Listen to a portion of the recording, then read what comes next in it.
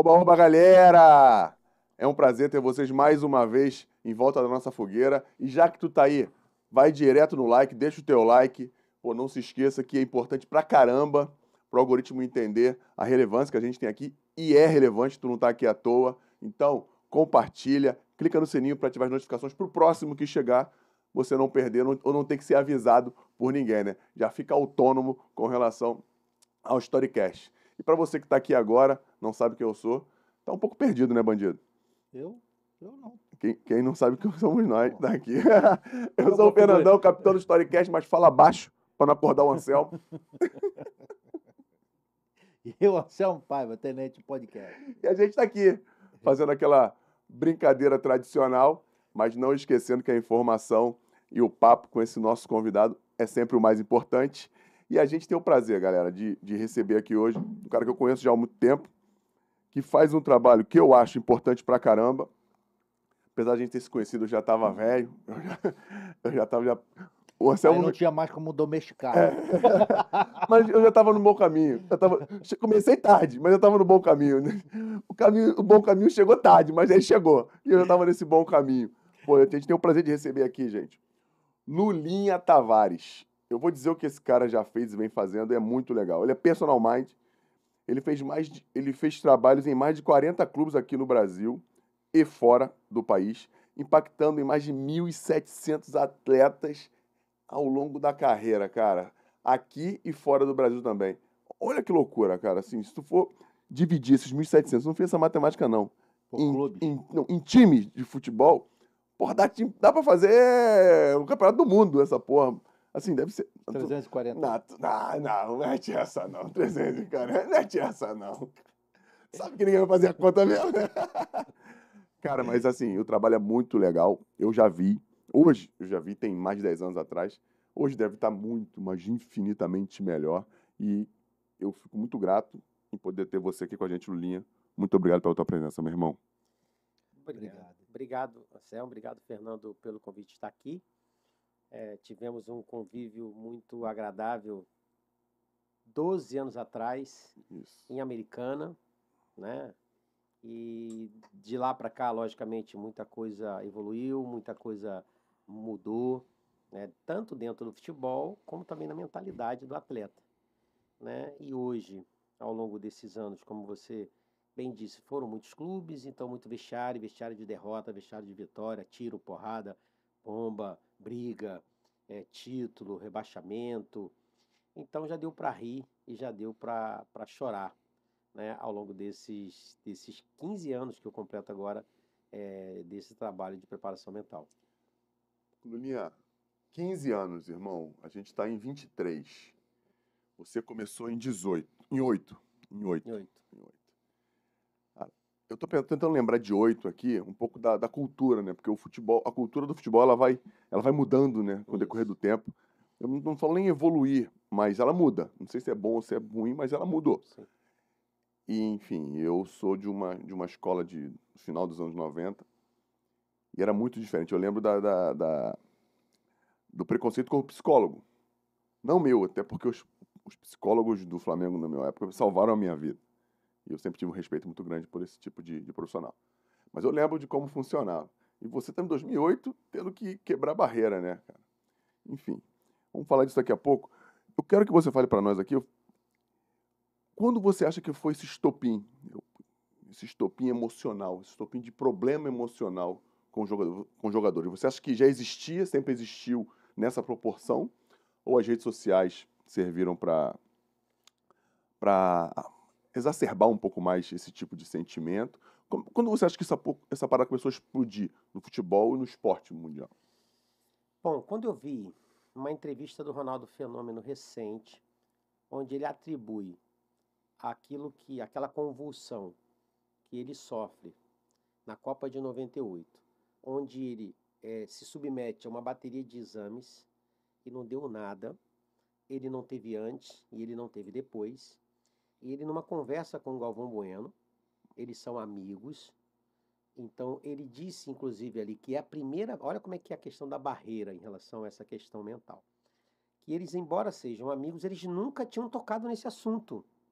E aí o Ronaldo diz 20 e 98, 25 anos depois, que a única coisa que ele atribui ao fato dele ter sofrido aquela convulsão no dia da final da Copa do Mundo foi de um estresse de final de Copa do Mundo. E aí, já em 98, porque assim, desde que o ser humano existe, ele não tem uma alma, ele é uma alma. A parte emocional faz parte do atleta. Logicamente que com o boom da internet, né, você tinha pressão quando você jogava, você tinha pressão mais no estádio ou você lendo um jornal. Isso. Hoje a pressão está na palma da sua mão. A cobrança potencializou, potencializou. E ao mesmo tempo, né, você tem uma nova geração que, é, comparada a uma geração mais antiga, é uma geração mais fragilizada emocionalmente. Então você tem uma geração menos forte emocionalmente, com uma pressão infinitamente maior. E isso aconteceu. É, só que assim, respondendo a sua pergunta, essa pressão é desde sempre em todos os esportes, sendo que com a diferença do futebol, o futebol todo mundo faria melhor. É boa isso, concordo. Então, é, no Brasil, você quiser trocar de sexo, está liberado, irmão. Ah, você tem liberdade, ninguém tem nada a ver com a sua vida. Se você quiser trocar de religião, você era budista, agora você quer ser evangélico, se é evangélico quer ser qualquer outra coisa, está tudo bem. Você cismou que você não é homem, que você é mulher, tudo bem, cara. Vai lá e troca teu documento. Agora, trocar de clube é mau caráter. Se quiser, pode puxar para tu aí. Então, você trocar de time, não. Uhum. Não, aí você é mau caráter. Então, há um peso muito grande, passional, emocional no mundo do esporte. E hoje estão enxergando que os atletas é, não devem ser vistos como super-heróis, devem ser vistos como seres humanos. Concordo contigo. E aí é que, é que é, você começa a dar um valor maior ao atleta ele se preparar para a sua atividade esportiva do seu ponto de vista mental.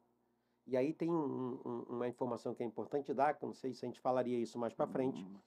é que fala-se muito hoje de saúde mental, saúde mental, cara, saúde mental é para o ser humano normal. Futebol é performance mental, esquece, amigo.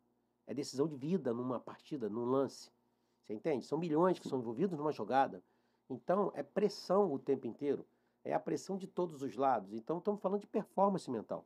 Da mesma forma que você treina uma batida, da mesma forma que você treina, ensaia um time para poder jogar o que está na mente daquele treinador, mentalmente é a mesma coisa. E hoje as neurociências estão desvelando informações sobre isso. O mundo científico está se rendendo a isso, só que lá atrás não tinha isso. E foi nesse período aí exatamente que a gente começou a nossa trajetória. verdade, verdade. Cara, você falou de pressão. Eu já. Um jogador da NBA chamado Lila, Lila, ele era do Portland Trail Blazers, eu acho. Sabe quem é esse jogador? Ele falou uma coisa sobre pressão que eu me eu me identifiquei. E eu queria falar com você, já que a gente falou de pressão aqui, acho que eu nunca falei isso com ninguém. Uma vez perguntaram para ele sobre a pressão de jogar, a gente sabe como é que funciona na NBA, os, uhum. últimos arremessos. Os caras só, só lembram quando os caras acertam, que eles erram muito mais do que acertam. O próprio Michael Jordan já falou isso. Ele falando, falando de pressão para ele, ele falou: cara, pressão aqui não. Aqui não tem pressão porque eu trabalho todo dia. Eu repito isso aqui todo dia. E se eu errar, Faz parte. Eu vou ter, eu vou ter que pegar a bola de novo para tentar acertar no próximo. Pressão é para uma mãe solteira que tem que criar três, quatro filhos. E eu me identifico muito com essa parada, que a gente até brincou aqui. Eu, depois de um tempo, eu fui muito mais disciplina do que motivação. Você acha que esse cara ele, ele tem um sentido racional falar isso? Ou, ou o esporte?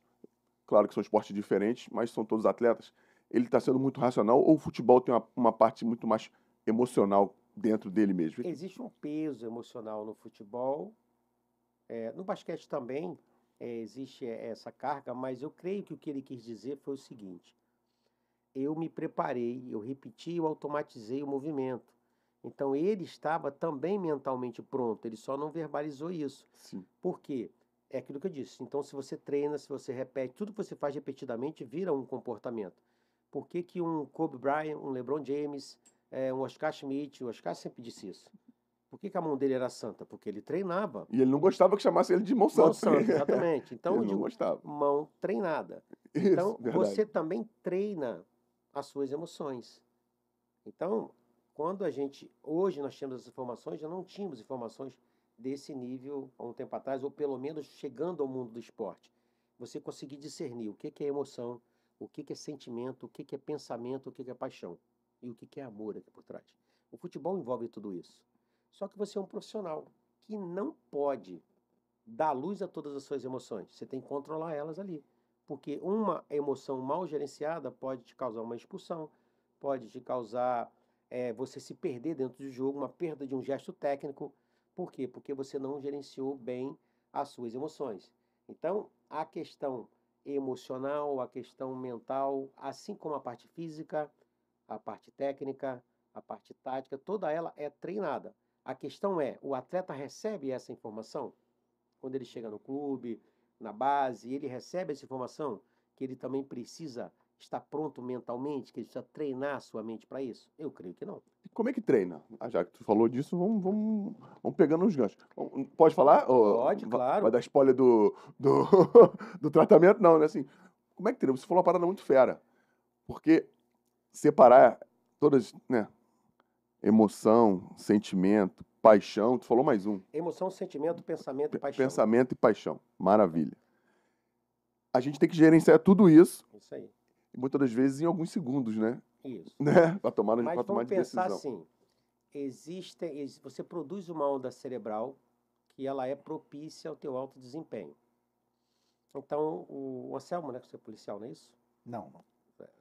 Adoraria, mas não é não. Não, Vamos pensar, que a gente está falando aqui atrás do Mossad. e É, tal. é. Então pensa o seguinte: você é policial no Rio de Janeiro, anda armado. Você tem que andar o tempo inteiro como? Ligado. Muito ligado. Senão você morre. É isso aí. Beleza.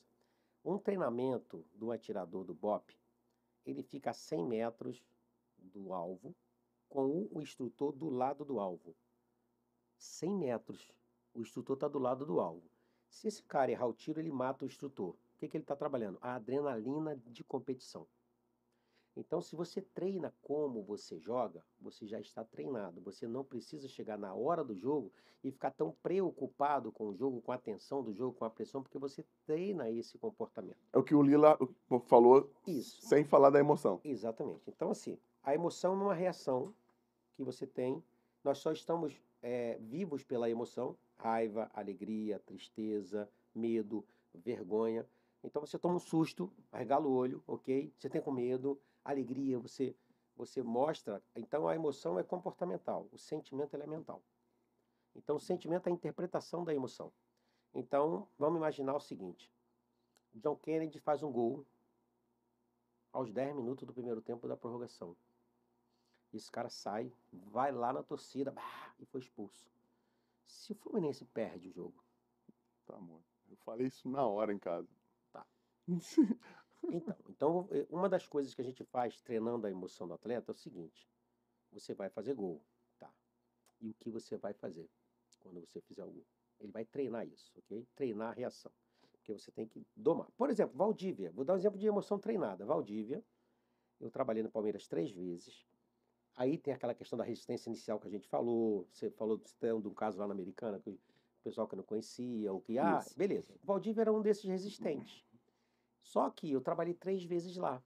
E eu chegava perto dele e falava assim: Jorge, lembra do mestre dos magos da Caverna do Dragão? Aquele velhinho? Que parecia. Eu, eu lembro, eu lembro. Beleza. Eu falava assim, Jorge, Jorge, uma cabeça boa conserta o corpo ruim. Uma cabeça ruim destrói um corpo bom, Jorge. O nome dele era Jorge. E ele, na dele. Fazia o trabalho com todo mundo ali, um ou outro vinha para mim, ele não vinha. E eu, tudo bem, nunca fosse a barra com ninguém. Quando o Palmeiras toma um 6 a 0 do Goiás, está em último lugar. No ano do centenário, eu fui chamado de novo para trabalhar no Palmeiras. Eu termino o trabalho com os atletas, como você sabe que a gente fazia o trabalho. Foi todo mundo embora, menos ele. A pergunta dele: o que, que é esse negócio de cabeça boa, corpo ruim, cabeça ruim, corpo bom? Quer saber? Senta aí. Tá. E ali a gente começou. Ele, ele, ele se- primeiro, ele vê como viam ele. Mercenário, baladeiro e chinelinho.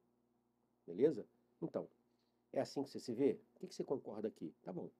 E a gente começou a gerenciar, ele gerenciar suas próprias emoções.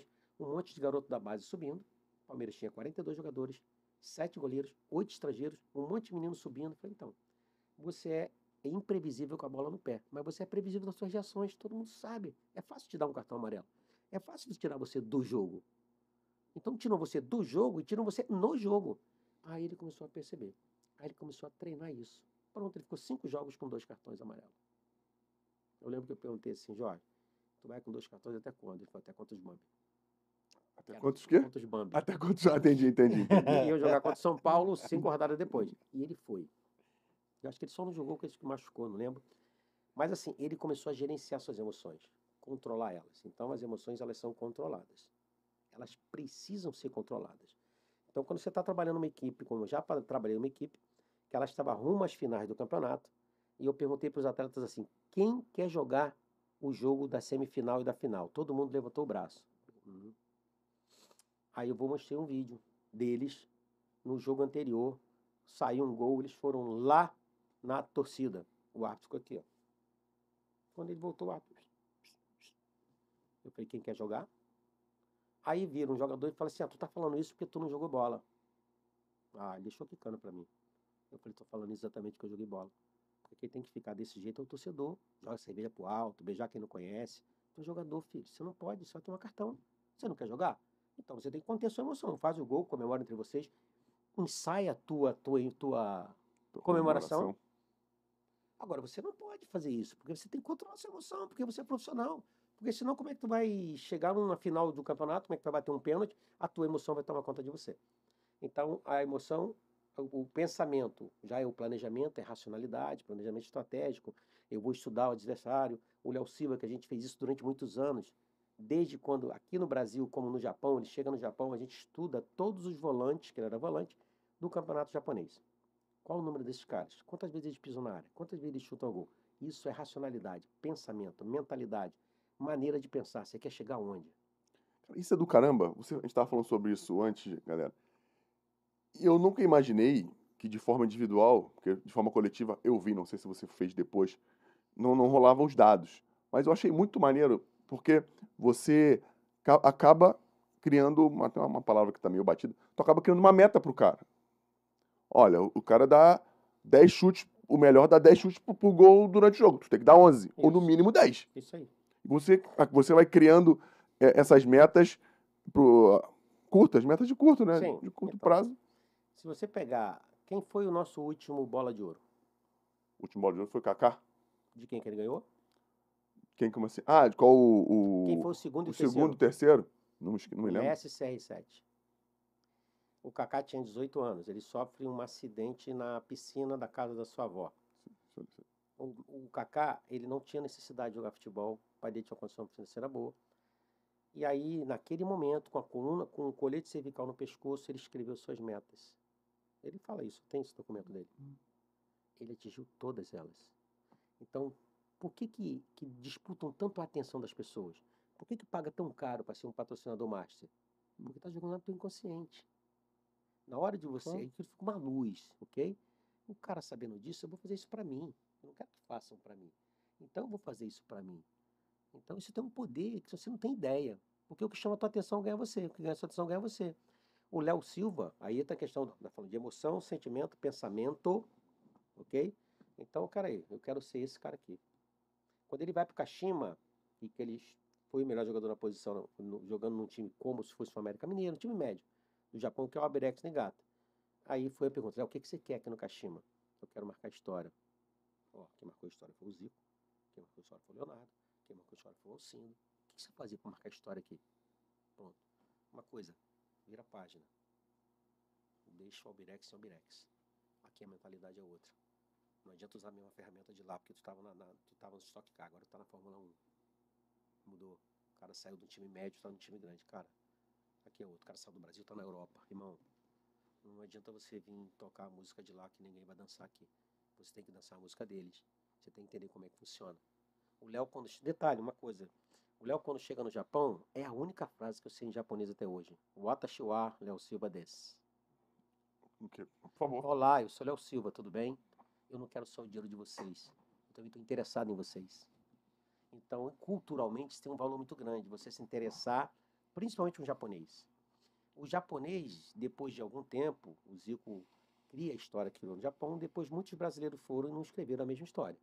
Então o que, que eles passaram a fazer? Eles te davam grana, mas não te davam honra. Honra só para o local. Então o Léo reconquistou isso lá. E tudo isso foi planejado. Onde, por isso? Como? como? Como, como que eles dão a honra pro, pro cara lá no Japão? A honra é, é tipo assim, é, lá no Kashima não tinha na loja do clube da roupa com o nome do atleta. Não tinha, entende? Então não tinha publicidade com o atleta. Estrangeiro. Estrangeiro. Ou todos outdoor com atleta nacional. Os capitães sempre na sempre nacionais, não estrangeiros. Estrangeiros da grana, quero o teu jogo, não quero você. Então, o Léo quebra esse paradigma dentro do clube, sendo ele o primeiro capitão. Ele foi capitão. Entende? Olha que, que, que poder que tem você ter metas, você saber o que você quer, saber onde você quer chegar. Dá um exemplo. Dá um exemplo, Lula. Ele, beleza, você. Isso eu sei, pô, o cara se interessar pela cultura que chega, isso é. Ah. É ponto fortíssimo para você ganhar, né? As pessoas no, no país. Enfim, eu sei como é que é isso pelos dois lados, pelo ruim e pelo bom. A gente já sabe disso. E com uma, uma, outra forma, claro que jogar pra caramba, porque o Léo jogava uhum. pra caramba, mas fala uma, um outro jeito aí, cara, pra que ele conseguiu ser capitão do time lá, pra, pra galera entender, né, cara, como é que é, funciona. Tipo assim, ele sempre foi o primeiro a chegar, ele sempre foi o último a sair.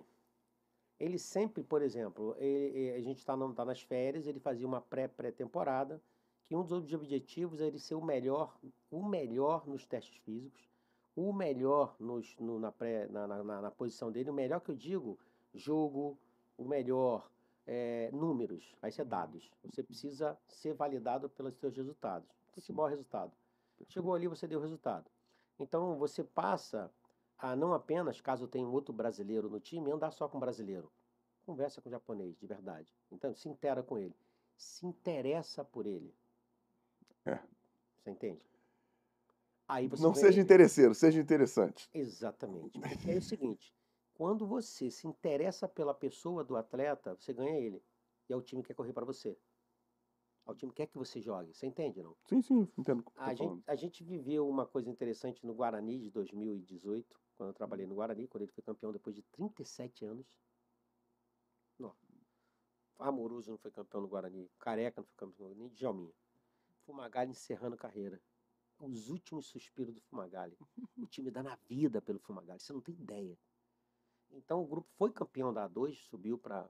E esse fator emocional é uma coisa que não, não é, é falado, não foi dito, mas esse fator internamente o grupo que estava lá sabe disso. Cara, eles gostam. O Fumagalli chorava é, durante as reuniões que a gente fazia, porque está terminando a carreira, ele queria muito aquele título. Pô, imagina, 37, 38 anos sem ganhar título. Ele já não tinha mais o condicionamento para jogar. E quando ele entrava, os jogadores iam cavar falta para ele bater. Você está entendendo? Entendi, entendi. Então, tudo isso tem a ver com inteligência emocional. Uma coisa é você ter a sua emoção, outra coisa é você dar inteligência para ela. E a gente ensina o atleta a fazer isso. E todos eles são, hein? É, existe uma, uma, uma ideia de que o jogador de futebol não é inteligente emocionalmente. Ele é, ele só não tem consciência que é. Entendi, só não consegue gerenciar isso. Né? Dentro desse trabalho que você faz, você utiliza a meditação? Sim. é uma das ferramentas. Uma das ferramentas é uma é das ferramentas. É. Qual delas? Qual tipo de meditação? Ah, você tem vários, vários é, procedimentos. Tem um treinamento que você faz de pelo menos 20 minutos, que inclusive é validado pela USP, e, e você tem, tem até como mensurar, que é, que é a coerência cardíaca, o aparelho é o biofeedback. Então você faz ali a sua respiração consciente, 5 segundos na inspiração, 5 na expiração. É, com o equipamento você tem a métrica. É o mindfulness mesmo. Isso, você vai. Vamos lá. Beleza. No que você faz isso, o que, é que acontece fisiologicamente? Aqui no coração tem um nervo vago que vai disparar o botão do estresse, que é uma reação em cadeia. É como se você ligasse o, o, o interruptor da tua casa, tu acendesse a luz, ligasse o ar-condicionado, ligasse o ventilador, tudo ao mesmo tempo. Assim que funciona o estresse. Então, quando você faz uma respiração consciente, coerente, você desativa aquilo ali. Tá? Quando você é Cristiano Ronaldo, Lebron, Kobe, então você ensina ele a fazer tanto a respiração dentro do jogo, para te dar um socorro ali, tu oxigenar teu cérebro. Respiração, melhor amiga, principal aliada. Respira. Pronto. Vários atletas que, que, que eu atendo hoje têm relatos assim, eles mandam para mim, mandam fotos para mim em campo, eles fazendo. Eles não estão fazendo porque o CR7 faz. Eles estão fazendo que eles estão vendo resultado neles. É, eu, eu pratico meditação já há uns 5, 6 anos e tem um benefício fantástico. E eu fico é, invocado porque ela não é utilizada nos esportes de alto rendimento, que é o futebol aqui. Eu, a gente tem um amigo que hoje atua na, no Seattle, que é o João Paulo, que jogou no Botafogo, está lá. O Seattle tem a meditação dentro dos treinamentos da equipe deles. E já é. não há. Isso já tem bastante tempo, há uns dois anos que ele me falou, tem lá. Aqui eu não escuto falar. Bom, tem um caso isolado assim, de um atleta que trabalha com você, e aí você prepara ele dessa forma. Isso. Assim, eu creio que um passo que vai acontecer dentro de muito pouco tempo, os clubes já estão atentos para isso, tanto com treinamento cognitivo, vários jogadores fazem treinamento cognitivo, para você trabalhar é, a musculatura ocular, visão periférica. Tem muita tecnologia hoje que muitos atletas estão usando para o futebol. Tanto a parte mecânica cognitiva cerebral, como a parte emocional, mental. Pronto. Eu creio que não vai demorar, eu vivo isso há 15 anos, como eu estou dizendo, eu já sofri muito, até porque eu não podia ser visto, ser noticiado no futebol. Nossa, Fernando, cada caso assim que eu tive que passar. Eu, eu sei disso, eu ia te perguntar, então, mas a continua. a gente vai falar disso daqui Isso a aí.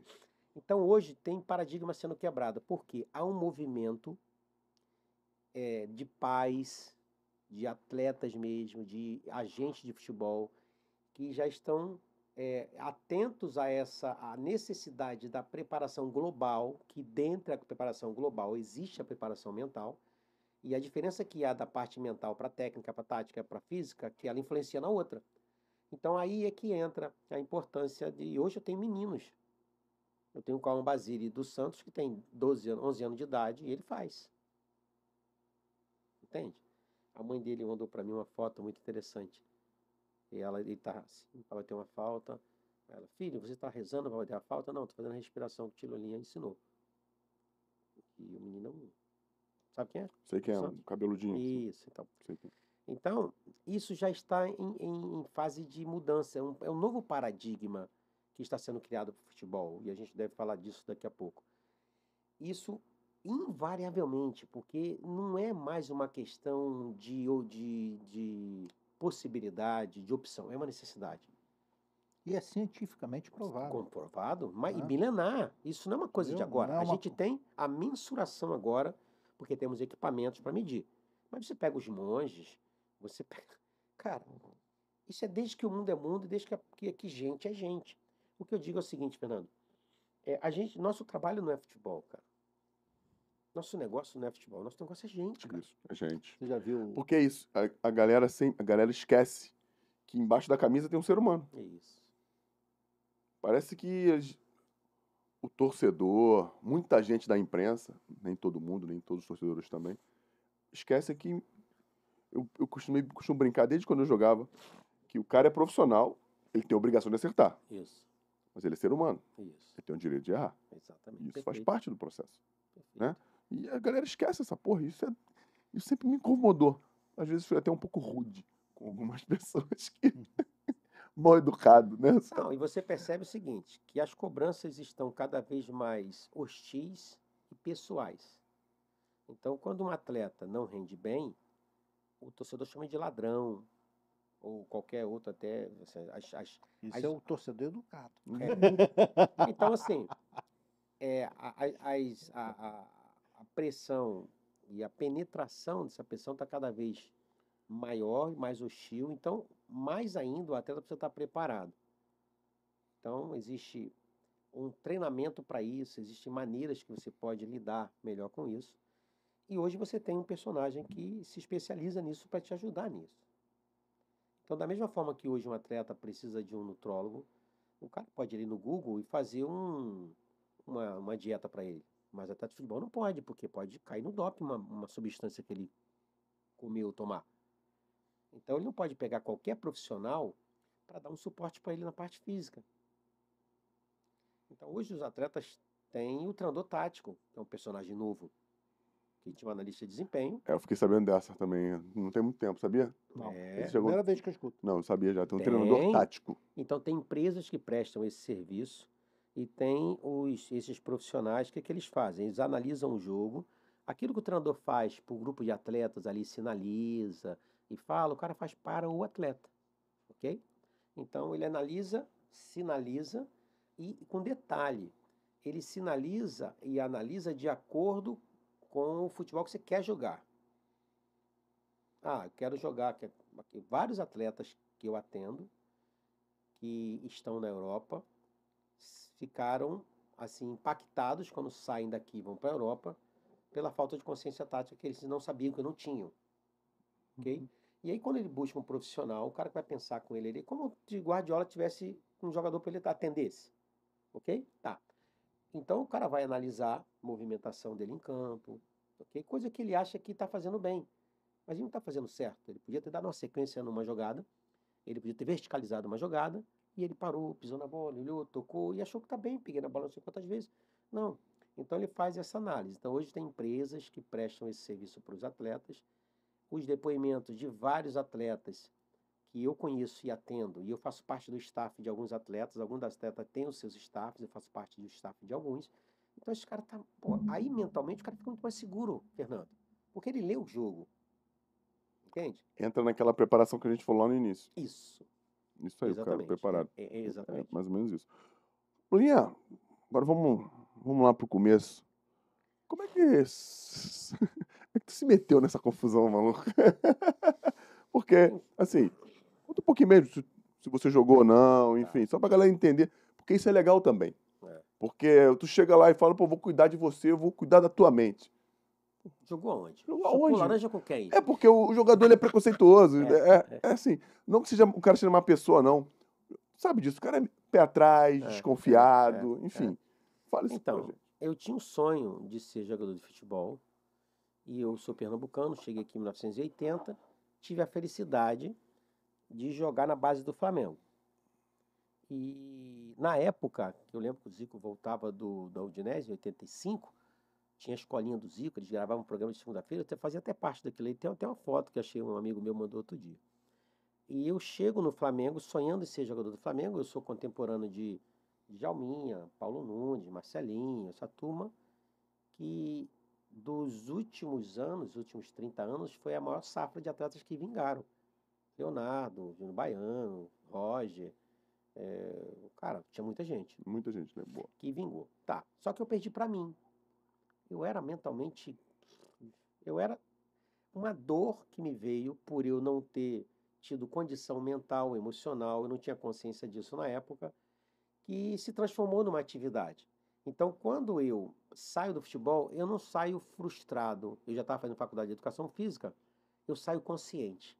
Perdi pra mim. Então, não botei culpa em ninguém, na época não tinha o papel do empresário, tá? Então, o que, que eu passei a fazer? Eu, eu, eu fazia faculdade de educação física, mas eu fui camelô, comerciante, eu vi picolé no trem, bolinho na feira, de comerciante empresário, e comecei a ficar bem financeiramente como um empresário, mundo corporativo, nada de, de futebol. Mas eu tinha amigos no futebol. Que quando esse cara não conseguia ser profissional, o que, que ele ia ser? Frentista de posto de gasolina, balconista. Aí eu arrumava emprego, dava conselho. Durante alguns anos eu fiz isso. E eu fiquei com esse negócio na cabeça durante muito tempo.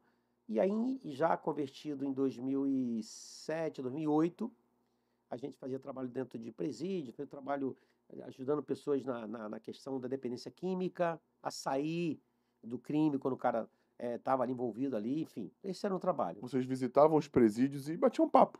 Isso, a com as gente, pessoas, a gente né? faz trabalho evangelístico e tinha- a gente estava começando um projeto no Bangu 7, que era fazer mapeamento da população carcerária, idade, grau de escolaridade, tempo de pena, histórico familiar.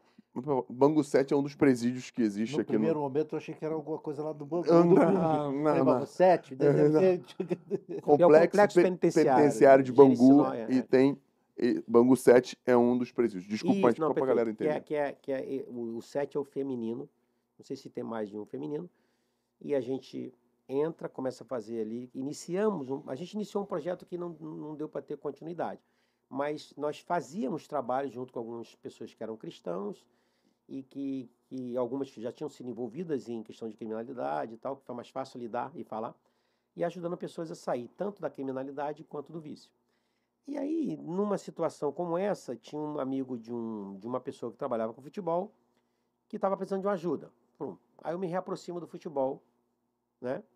Através desse, desse, desse amigo, e que, me che que chega no PC Guzmão, que era treinador na época, é, e o PC me chama para dar uma palestra, fazer uma palestra no Figueirense em 2008. Figueirense tinha jogado contra o Fluminense aqui. Muito tempo que eu estava fora de futebol, não sei nem por que, que ele me chamou, assim, é coisa que eu atribuo a Deus, assim, coisa sem. Me chamou para dar palestra, eu não tinha nada a ver com eu estava fazendo trabalho de futebol. Quando eu vejo os atletas e, e, assim, veio aquele negócio, sabe, Fernando? Aquilo, tudo que eu senti lá atrás renasceu em mim. E aí, na semana seguinte, eu vou para Florianópolis, fico uma semana lá. Tu lembra o teor dessa palestra? Tu lembra o teor do, do assunto, né? Cara, não, não lembro. tu lembra? Porque era novo para você, é, né? Novo. Como é que eu vou abordar É, esses caras cara, aqui? Né? Não, ó, sinceramente, eu, é, eu vou até. Bom você ter falado isso, É, cara, eu pô. preciso saber o que, que eu fiz naquele dia, porque eu não sei se funcionou, se não funcionou. Eu sei o seguinte. eu- Funcionou para você. Pra mim funcionou. É isso aí. Pra mim foi uma, uma, uma, uma, é, uma virada de chave, ok? Aí eu, na semana seguinte, eu vou e acompanho os treinos do Figueirense. E aí eu peço o Paulo para poder conversar com o Cleiton Xavier. E eu começo a conversar com o atleta. Então foi culpa tua que ele acabou com a gente em São Januário em 2008. ele jogou pra caralho, fez dois gols, deu passe pra mais dois. Então, e aí é o Tava seguinte, dopado mentalmente. Dopado mentalmente. eu não sabia, não tinha consciência do que eu fazia. Eu achava que era psicologia esportiva. Trabalho com PC no Figueirense, trabalho com PC no Atlético Goianiense no início de 2010, 9. Depois ele vai para o Ceará também, eu fui com ele. E aí eu entro numa pós em psicologia esportiva. Eu sou formado em educação física. Então eu entrei na pós. Estou estudando. Aí quando chega pouco tempo antes de surgir o trabalho no Fluminense, a- uma amiga da minha esposa falou: "Ó, tem um curso aí que pode ajudar o teu esposo, que é coach com PNL. Eu não sabia se era de comer, de passar no cabelo, não sabia para que que servia. Eu falei, cara, eu vou lá. E quando eu chego na sala de aula, eu falei, cara, eu já faço isso. Eu fazia algo intuitivamente que ali foi começando a me dar validação científica, que a PNL não é uma ciência, mas é um corte entre a ciência. Não, pra gente entender, e dentro de uma experiência que você construiu trabalhando com as pessoas dos presídios e na Sim, igreja que você, aí, que você visitava, É, é, frequentava. Caralho, que isso é muito É. louco. E tipo assim, por isso que eu, dentro de mim, eu atribuo a Deus e não a mim, eu vejo isso como uma missão. Ao longo desses 15 anos, eu vendo tudo o que aconteceu, eu vejo que hoje tem uma missão.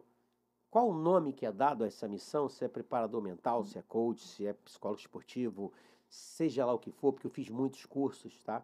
Às vezes a pessoa acha que você entra, caiu de paraquedas. Tá, não. Isso, isso. Fiz muitos cursos eh, de capacitação, porque tem muita informação nova. Então, respondendo a pergunta Hum. inicial, sou do futebol, fui do futebol, eh, enfim, surgiu essa, essa situação no Figueirense. Aí, no meio do ano, eu faço esse curso. Quando eu faço esse curso, eu falei, cara, eu faço isso. Trabalha com modelagem mental, sabendo que a mente ela é moldável, que cérebro é uma coisa, que mente é outra, que existe um padrão comportamental em quem vence. Peraí, todos que vencem têm um pensamento parecido. Eles lidam com a derrota de maneira parecida. Eu posso modelar a minha mente. Opa, peraí, Qual o padrão que o vencedor lida com a derrota? Ferrou, tá? Consulta. Exatamente. Então, ó, o, o vencedor, ele entende que o erro faz parte do acerto. Entende? E que a derrota nada mais é do que um, um- um laboratório para ele.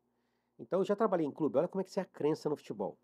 Eu estou trabalhando no clube, tá o presidente ali, tá o treinador, eu assim, gente, a gente vai perder. Você precisa entender que o Campeonato Brasileiro tem 38 jogos. Então você precisa estar pronto para a adversidade. Quando você entra no avião, você não torce para o avião cair, mas você recebe uma instrução se houver despressurização na cabine, máscara vai, vai, vai cair, e você precisa saber usar máscara. Se precisar pousar na água, você está você tá, tá torcendo contra, você está tá desejando mal, não, filho, pode acontecer. E quais são os relatos de bordo aí quando dá despressurização? Ninguém sabe onde enfia a máscara, porque não está prestando atenção na hora, cara. Bota, botar nele primeiro, esquece o outro. É. Não, mas você tem que botar em você primeiro. Eu sei, eu sei disso. Então, sei disso. é, é, é, respondendo aí a, a, a, sua pergunta, qual foi? Não, foi a. Como é que Ah. surgiu isso tudo? Não, e enfim. você agora fez outra pergunta. Ah, é, agora. Você perguntou como é que reage. Como é que, como a é que, o, como é que o, pessoa, o o vencedor vencedor reage? Na derrota. derrota. Então, como é que, seguinte, qual o padrão comportamental do, do Então, vencedor? o vencedor, ele não lidar com, com, com a, é o olhar sobre a derrota, entende? É como a gente está falando da questão da situação do, do piloto do avião. O piloto do avião, o avião precisa cair e nem precisa pousar na água, ele tem que estar treinado para aquilo ali. Então você vai estar treinado para a questão que pode acontecer. Regra básica de guerra, eu espero o melhor, me preparo para o pior. Então, eu vou estar preparado se eu tomar um Google dois minutos. Se eu, se eu Primeira vez que eu ouvi essa frase foi você que falou. Esperar o melhor se preparar para o pior. É. Foi lá, Foi lá. exatamente. Foi lá. Então, a- é uma regra básica. Sempre, eu espero o melhor, me preparo para o pior. Observe uma abordagem de um policial quando tem um veículo. Ele não sabe quem está ali. Ah, mas tem uma senhora aqui dentro com uma criança. Cara, eu não sei, eu não estou vendo. Eu não sei se tem alguém atrás. Então, isso é uma regra básica. Então, quando você começa a lidar com isso, e você começa a aprender que há um valor, assim, a vitória, ela traz reconhecimento, mas a derrota traz crescimento. Se você pegar a história desses grandes atletas, eu pego lá, por exemplo, Kobe Bryant. Ele estava vivendo um período muito difícil da vida dele. Naquele momento ele tomou uma decisão. Ele viu uma série na TV e nessa série tinha uma cobra. E ele falou assim: Cara, que cobra é essa? Que é a mamba, que é a cobra mais perigosa do mundo. Quero ser como essa cobra. Hum. No meio de problemas onde ele estava. O exemplo do Kaká que eu dei foi no momento, um dos momentos mais difíceis, porque estava chegando aos 20 anos de idade, estava com 18. Ele chega ali, pum, tem aquele start, toma a decisão. ok? Então, a derrota a gente faz pensar. Ela te faz refletir. Entende, não? Claro. Então, ele claro. aprende, a, a- ele olha a derrota não com o olhar de fracassado. Entende? Sim, sim. É sim. como aquele cara, ah, eu fiz uma prova, eu, eu tirei nota ruim em matemática. Ah, eu não sirvo para matemática. O vencedor falou assim: não, na próxima vez eu vou tirar uma nota, eu vou estudar mais. É isso. É isso. Concordo contigo pra caramba. E vamos falar um pouco de preconceito, Lulinha. Primeiro nome. A gente sabe que o coaching nos Estados Unidos ele tem um, um valor, acho que um pouco diferente. Até porque, não sei se lá é assim, mas aqui a galera mesmo meio, meio que banalizou o nome, né? Banalizou, banalizou. Virou coach pra qualquer coisa, coach é Isso. coach pra qualquer coisa. Vamos falar do preconceito, mas, enfim, dentro depois, vamos falar do nome, então. E aí você tem um livro, né, que é legal pra caramba pelo que você falou, não, não li ainda, Coaching Esportivo. Hoje, você colocaria um nome diferente? Colocaria. Colocaria? É porque o livro foi lançado em 2014 e ainda não tinha tido esse boom que teve no coach. Inclusive, quando eu encontrei com um treinador muito conhecido aí, foi treinador da seleção brasileira, e ele falou, eu disse, olha, professor, eh, eu comecei nessa atividade quando ninguém sabia que, que existia essa atividade. Então, ao longo do tempo, a gente foi desenvolvendo mais ferramentas e o coaching, coaching em si, é uma das ferramentas para a tua preparação mental. Então, se você entender que mentalidade é maneira de pensar, e quando o Cristiano Ronaldo diz que o mais forte que ele tem, o ponto alto dele, ah, o que você tem de melhor? É força, é velocidade, é drible? O que, que é? Ele é mentalidade. Tem, um, inclusive, um estudo realizado em Harvard, e tem um livro lançado chamado Mindset, Maneira de Pensar, que aí você entende que você tem várias ferramentas. Então, é, hoje eu colocaria um outro nome, é, personal mind, ou preparação mental, ou performance é, mental, que aí você é semelhante a um personal na academia. O personal na academia não é para te curar uma doença, é para trazer desenvolvimento. Você vai para academia para quê? Você quer ficar forte, você quer resultado bom, concorda? Então, há uma diferença básica e são, são atividades complementares. Isso é A importante. terapia, exatamente. Isso é importante você dizer. É, a Isso é terapia importante. e o trabalho de preparação mental, eles são trabalhos complementares. Você tem um fisioterapeuta, você tem um médico, você tá eles se complementam. Ele não vai fazer gol Isso. você, não. Isso. Então, É só lembrar quando o Newton Petroni surgiu no futebol, e aí começou aquela guerra de médico com fisioterapeuta, eles se complementam. Isso não aí. existem. Eles sabem. O ser humano é interdisciplinar. Então, o personal, você, você pode malhar sozinho na academia, não pode? Posso. Vai lá, vai no Smart, no Smart Fit e malha sozinho. Se você tiver um personal, não é melhor? Melhor. Tá. Muito melhor. E aí é o seguinte, vamos lá, Fernando. Vou fazer um exercício com você aqui agora, com vocês. Uh, eu cheguei... Mental, mentalmente ele precisa mais que eu. vamos lá. É, cheguei na academia, te contratei, você um personal top, referenciado, já não dispensa apresentações, você me passou o valor, te contratei. Aí eu chego diante de você, aí você vai me fazer uma pergunta que se eu não souber a resposta, você não tem como ajudar. Qual é a pergunta? Não sei. Caraca. Reformula de novo, só para eu entender. Tu é personal, eu sou aluno. Sim. Ok? Tu é fera. Tu é o cara que bota todo mundo voando. Eu cheguei para você, já te contratei preço, valor, tá tudo certo. Não tem mais dúvida em relação a isso, ok? É, e cheguei diante de você. Você vai me fazer uma pergunta. Se, se eu não souber responder, tu não vai poder fazer nada. É, é na linha do Patrick. Onde tu quer chegar? Perfeito. Pro Patrick. É. Ele, ele, é, ele é personal, filho da mãe. Então, filho da vamos lá. Pensa bem. Olha só. Pensa bem. O, ó, é o seguinte, eu quero fazer uma prova para a Polícia Federal daqui a seis meses. Então eu tenho que nadar, eu tenho que correr e tal. Beleza. Então essa é a tua meta. É onde você quer chegar. Tá, estado atual, esse. Ele tá doente? Não. Tá com problema? Não. Ele quer passar na prova. Não tem problema nisso. Tá bom. Deixa eu ver como é que você tá. Métrica. Feito com o Léo. Léo quer chegar onde? Métrica.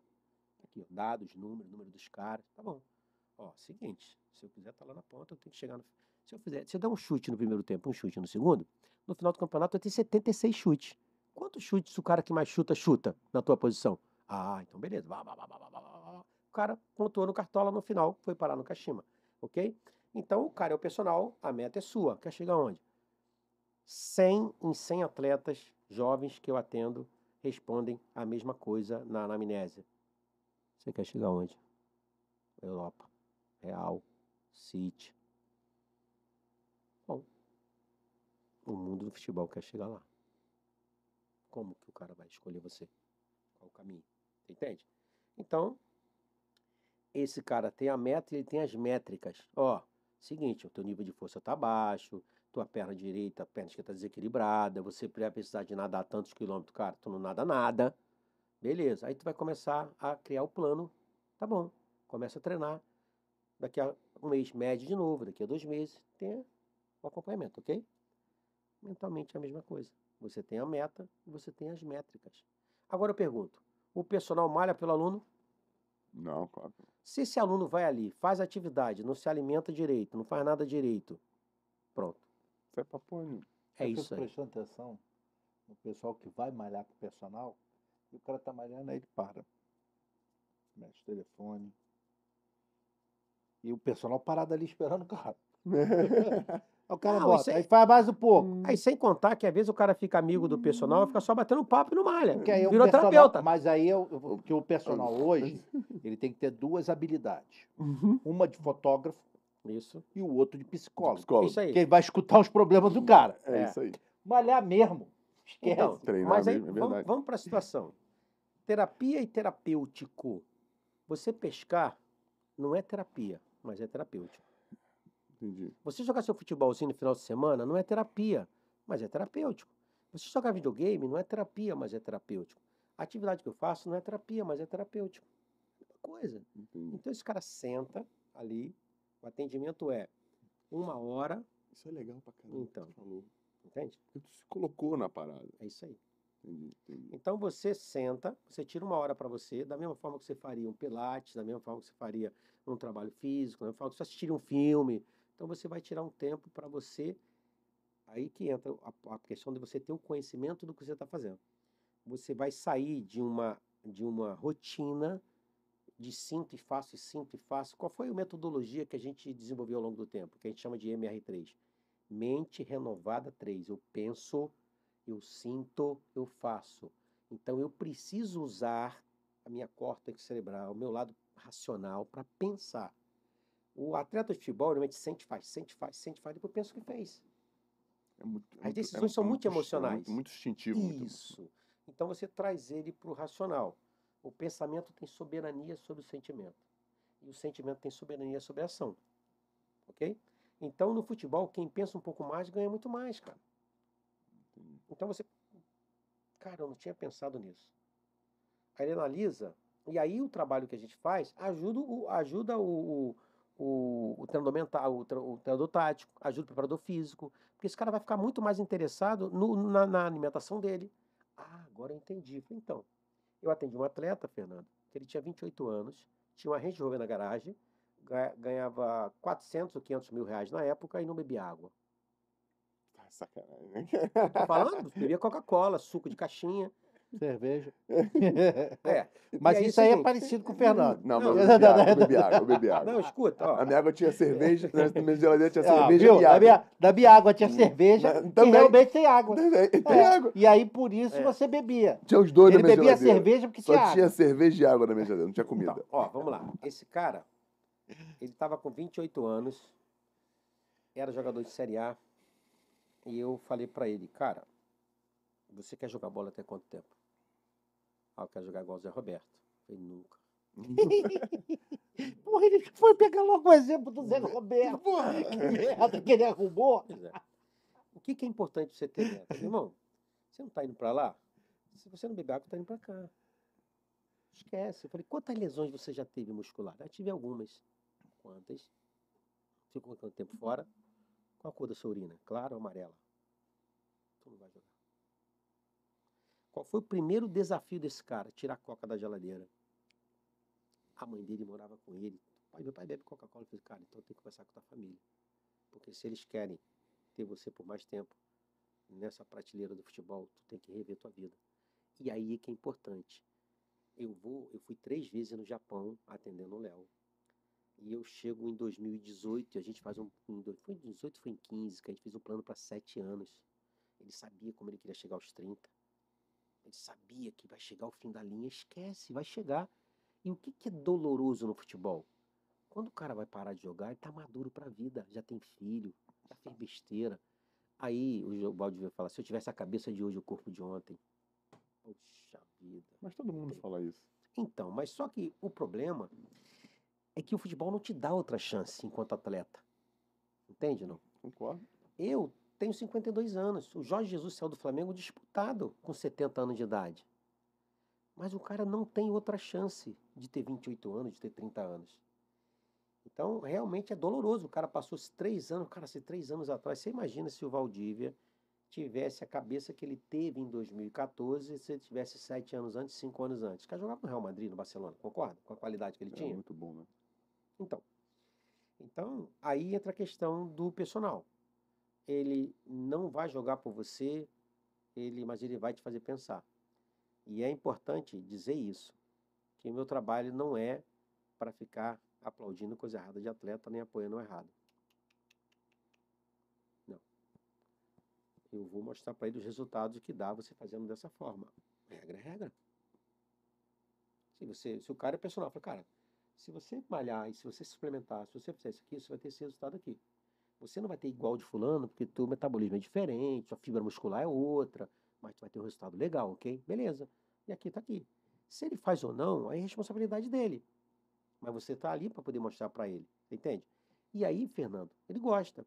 E no que ele gosta, ele indica, ele e você e assim, ao longo desses anos, tem muitos resultados. Aqui nesse livro que é em 2014, já tem cases, tem o Aloysio Boi Bandido, tem o próprio Leo Silva, tem o Figueirense 2011, em 2011, Fernando, o Figueirense conjunto com o Renan, nós fizemos um gráfico de pontuação e um gráfico de colocação. Toda vez que fazia um ponto, o capitão do time, que era o Wilson, ia lá e marcava. Ao longo do, do campeonato, a gente viu que o time ficou, o time que brigava somente para permanecer, queria fazer 45 pontos, ficou o tempo inteiro na zona da Sul-Americana, deu um pico lá na, na Libertadores e nunca tinha ficado na zona. Falei, Opa, então dá para brigar por mais. Como que a gente fez isso? Um trabalho sistemático. Entendi. Fala um pouco do, de um desses. Fala do, do Boi Bandido, um desses cases. Qual foi o trabalho que tu fez com ele? Porque Ele começou, ele começou no São Paulo? Não, não, não ele não. começou. Ele, era, ele, ele começou na base do Grêmio. No Grêmio? Isso. Ele tinha estado na Chapecoense. Nós trabalhamos juntos em 2011, quando eu fui pela segunda vez no Figueirense, que foi quando o Jorginho estava lá, o Michael estava lá, que depois lá. jogou no Grêmio, uh, o Nem estava lá. Enfim, foi um time, era um time. O Figueirense foi, acho que foi o melhor ano do Figueirense foi, na história. Foi. Melhor ano da foi. história do Figueirense Isso. no futebol. O diretor brasileiro. de marketing era o Renan, o treinador Renan. era o Jorginho e conheci ali o Aloysio. Começamos um trabalho individual. Naquele período ele perdeu dois parentes dele, primos que ele gostava muito, atropelados e tal, uma coisa assim. E aí é, começamos um trabalho individual em 2011. Quando foi em 2012, o Jorginho foi para o Kashima, o Figueirense é, é, mudou, o treinador mudou tudo. Os jogadores pediram para eu voltar. Olha a coisa da história interessante que eu falo. Os jogadores pedem para eu voltar. O treinador era o Hélio dos Anjos. Eu vou direto para Recife. Era, não sei qual rodada do campeonato, não sei se ele não tinha feito nenhum gol ainda. E aí, é, eu fiz uma, uma dinâmica com os jogadores, onde eu colocava um copo com água, derramava um líquido, que era o Povedine. Povedine, caraca. A água ficava turva e simbolizava a mente do atleta. E depois eu mostrava é, como que a mente voltaria a ficar. E eu colocava um outro líquido, muito, um alvejante muito, muito forte. Beleza? Quando acabou o trabalho, ele foi lá e pegou e pá, vou acabar com a minhaca. Bebeu, cara. Não, e o pior tu não sabe. Ganhamos de 1 a 0 Quem fez o gol? Gol dele. Ia beber todo dia aquela porra. E aí o seguinte, teve um depoimento dele. Ele era muito intuitivo, muito intenso. O São Paulo começou a se interessar por ele. O Maico estava no São Paulo em 2012. E aí, eu, eu, olha só o interessante desse negócio. Eu comecei a filmar ele nos jogos e falei assim, cara, tu corre muito com a bola. No São Paulo não é assim, tu não vai conseguir jogar assim. Teu percentual de gordura é alto. Eu lembro que na época o Mike falou assim, ó, com esse percentual de gordura ele não joga aqui. Ele não se percebia. Então, na época não tinha VAR. Então ele tinha muita força, muita explosão. Então, na hora que ele saía, ele não estava impedido, mas não dava bandeirinha ver. Entendeu? Então ele passou. E, e ele ia igual o Bolt e voltava andando com o ombro arriado. Falei, cara, você não pode voltar andando. Aí, teu time pega a bola, precisa de você. Então ele começou a ter essa consciência, tocar mais a bola, se preparar para uma possível situação do São Paulo. Ele foi o terceiro maior artilheiro do Campeonato Brasileiro de 2012, quando o Figueirense caiu e ele foi o terceiro maior artilheiro. Entende? E aí ele vai para o São Paulo. Então ele tomou mais consciência dele.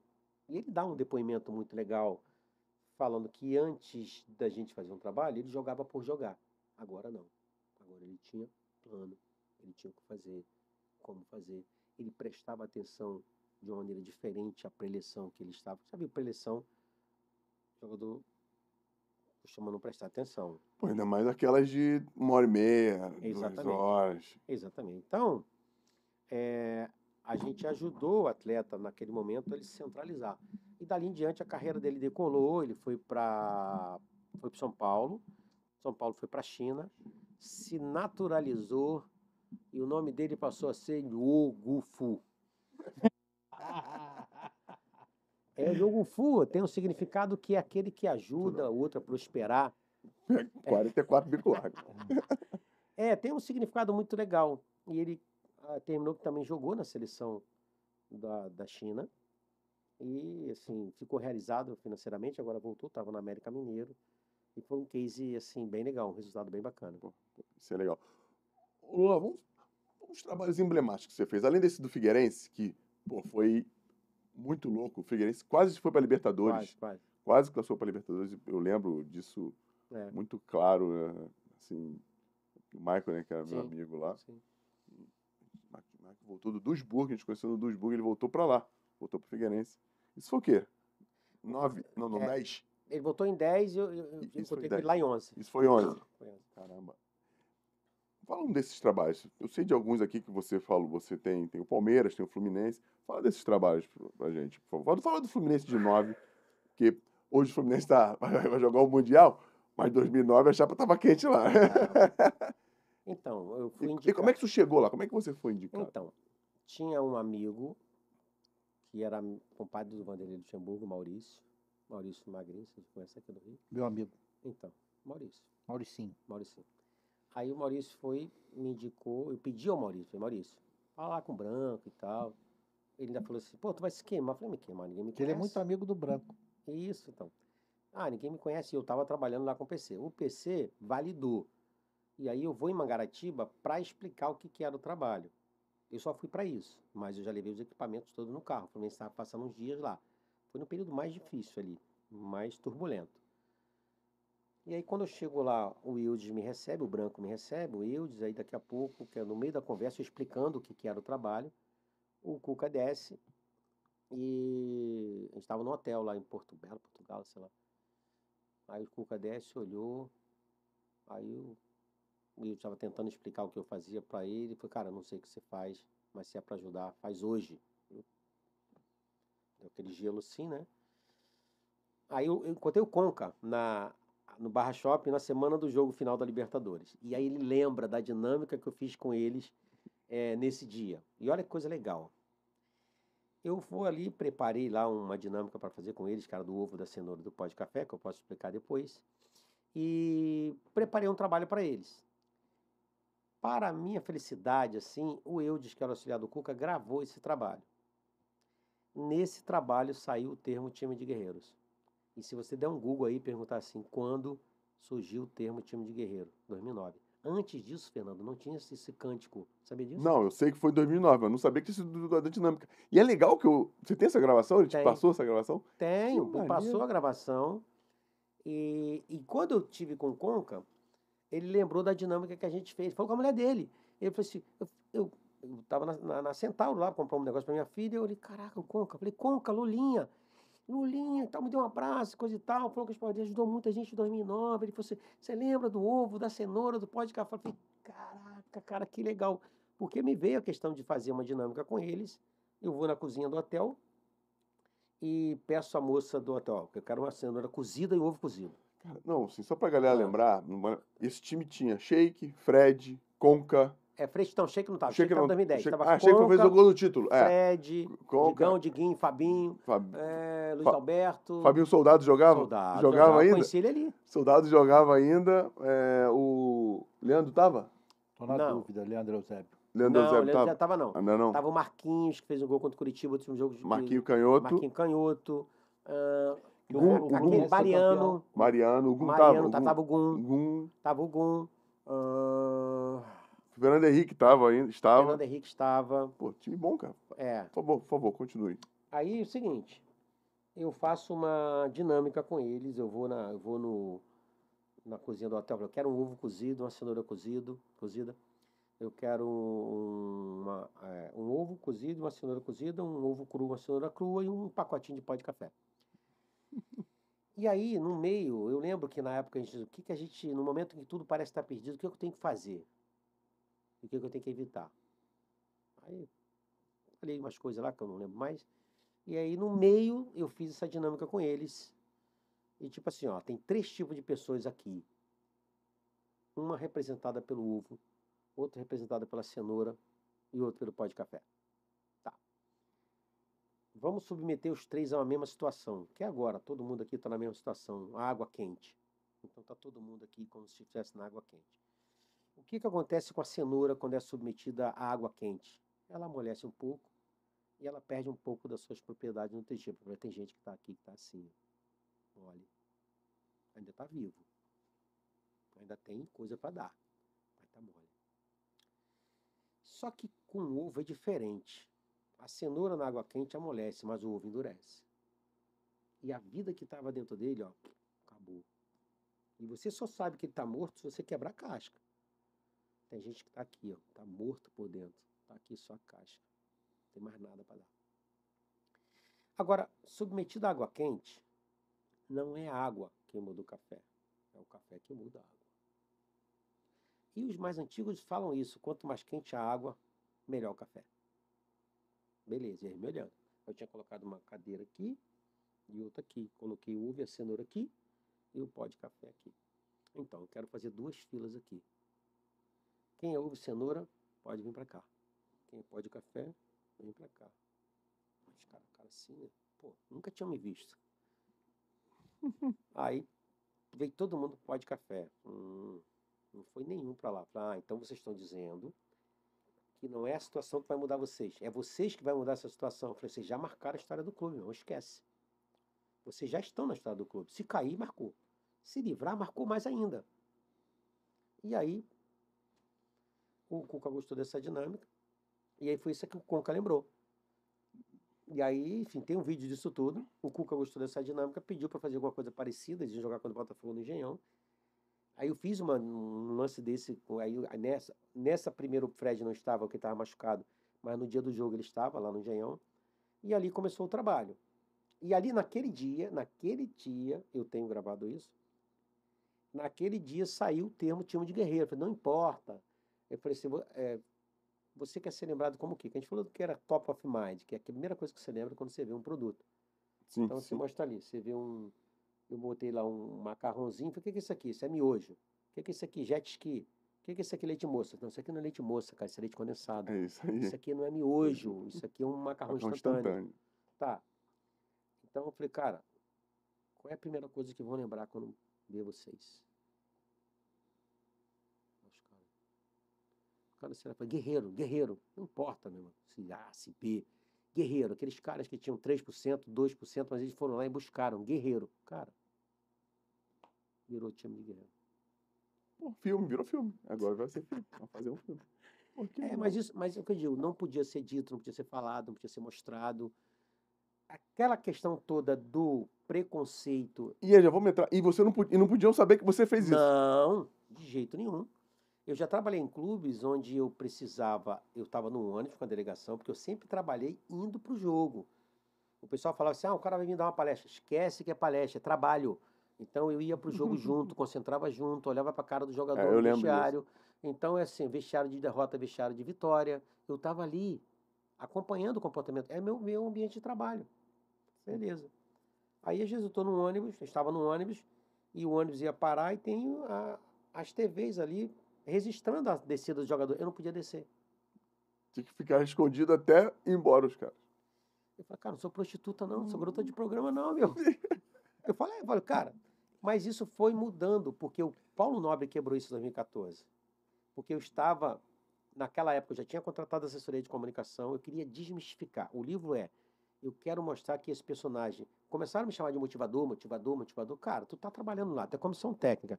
Vai ganhar porque tá vindo um, um, cara aqui dar uma palestra. Falei, irmão, olha só, isso aqui não é palestra, isso é um trabalho.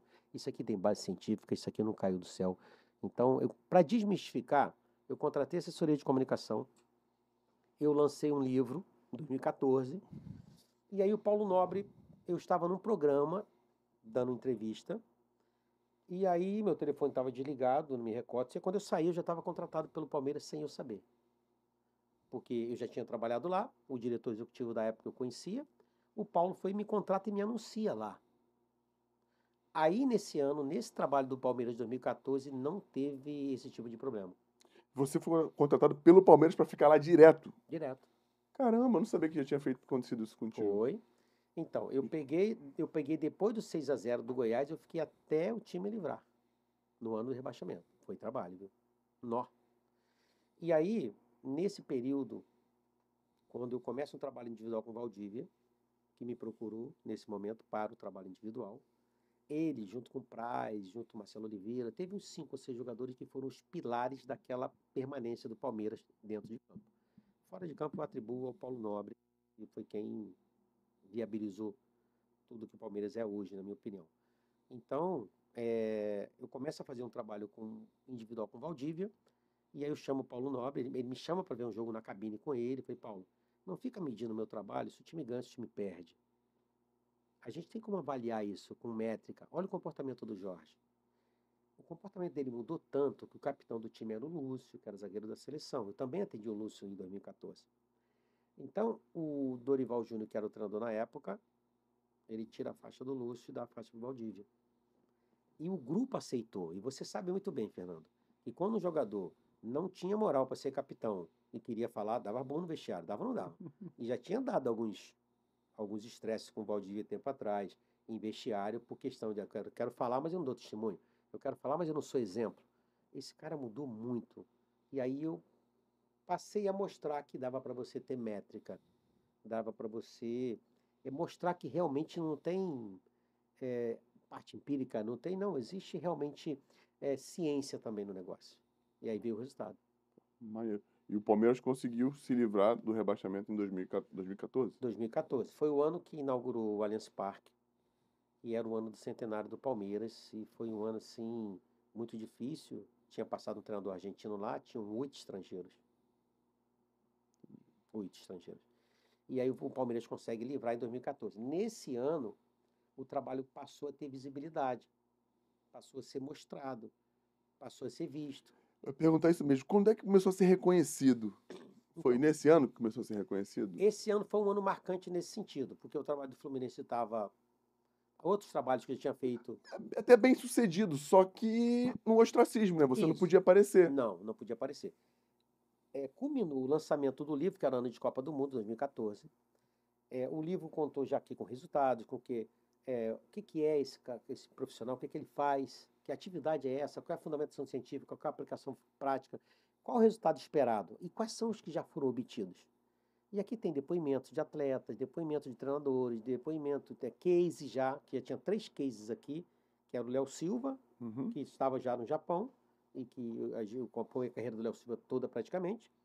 É, o Aloysio Boi Bandido tinha o case Figueirense, de 2011, com gráficos, com pontuação, com colocação, enfim, estava tudo, tudo monitorado ali. E aí, juntamente com isso, surgiu o trabalho do Palmeiras. Aí que foi realmente o ano de uma virada, não da grande virada. Um ano de uma virada onde as pessoas olhavam: o que, que é isso aí? Quem é esse cara? O que, que ele faz? Que atividade é essa? Aí isso vem se desvelando ao longo do tempo. Com o avanço das tecnologias voltadas para a parte cerebral do atleta, né, com a procura, porque houve outro movimento, Fernando. Cada clube que eu passava, um atleta se interessava, dois, pelo trabalho individual. Esse atleta indicava outro atleta. E começaram a ter os cases individuais. De Fora o Léo Silva, que é um dos mais antigos, tem outros jogadores que eu atendi individualmente no Flamengo, por exemplo, quando atendi, quando eu trabalhei no Flamengo em 2013, eu atendi nove jogadores.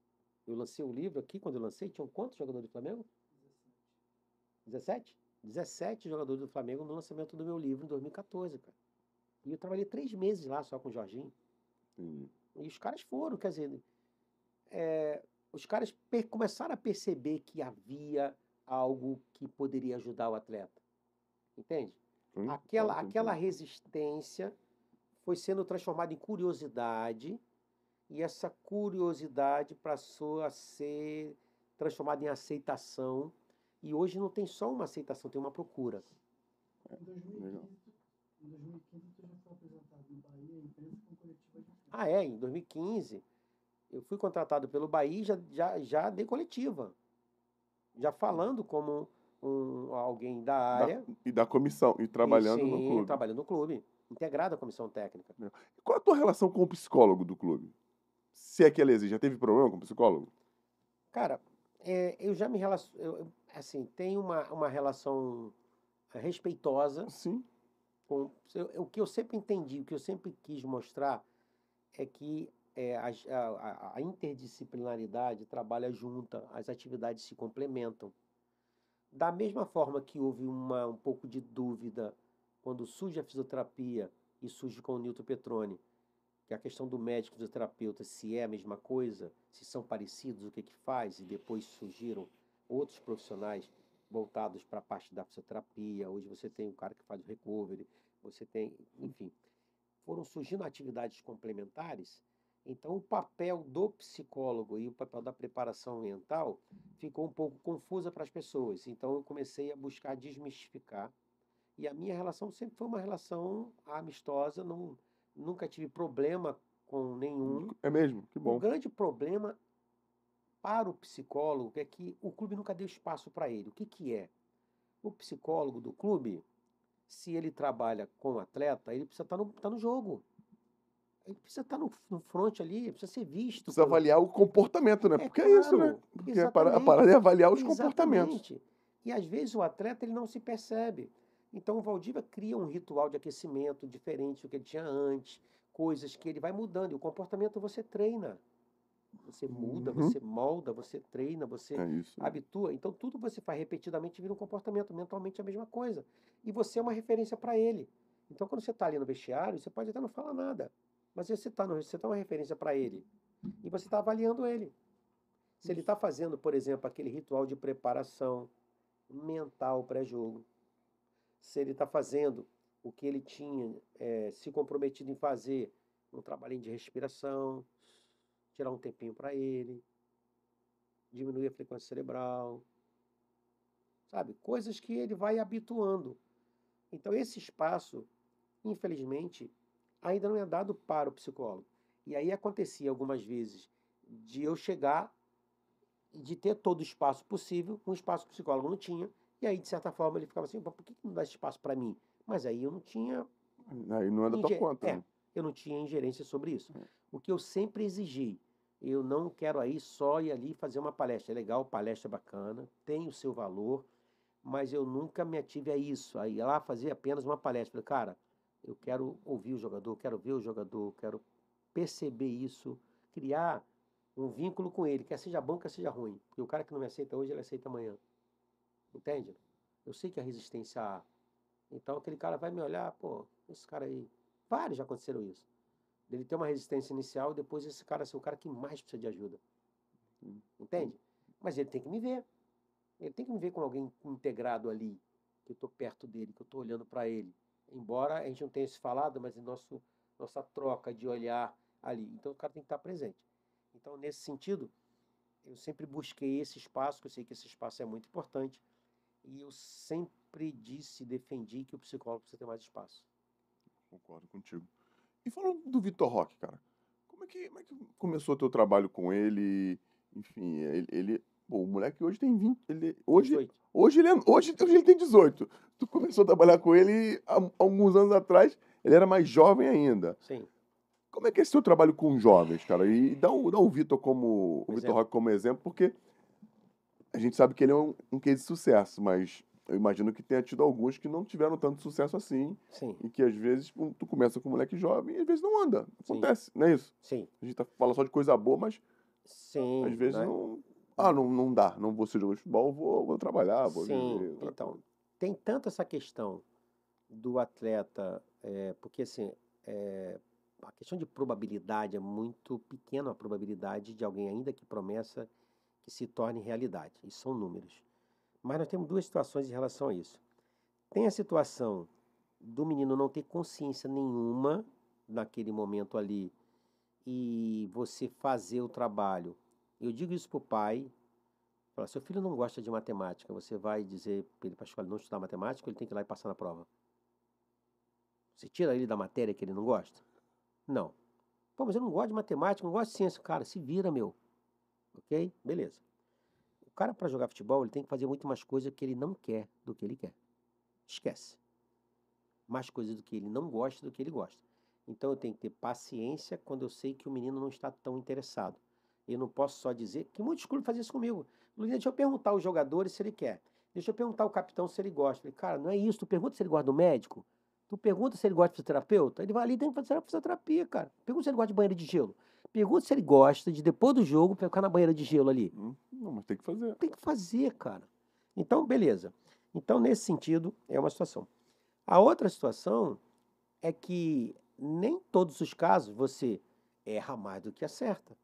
Então, eu sou um atacante que eh, no futebol tem 30, 40 chutes no jogo, 2 a 1 no jogo, 3 a 1.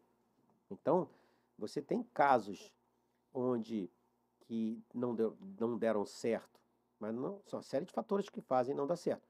Muitos dos casos que não deram certo, o caso de atletas que não se consolidaram no profissional, não foi parte física, não foi parte técnica, não foi parte tática, parte mental. Fato. O Vitor Roque era dia da criança, das crianças em 2021. Era Cruzeiro e Botafogo. E o Vitor Roque tinha treinado contra o profissional umas duas ou três semanas antes, eu não tenho essa data certa.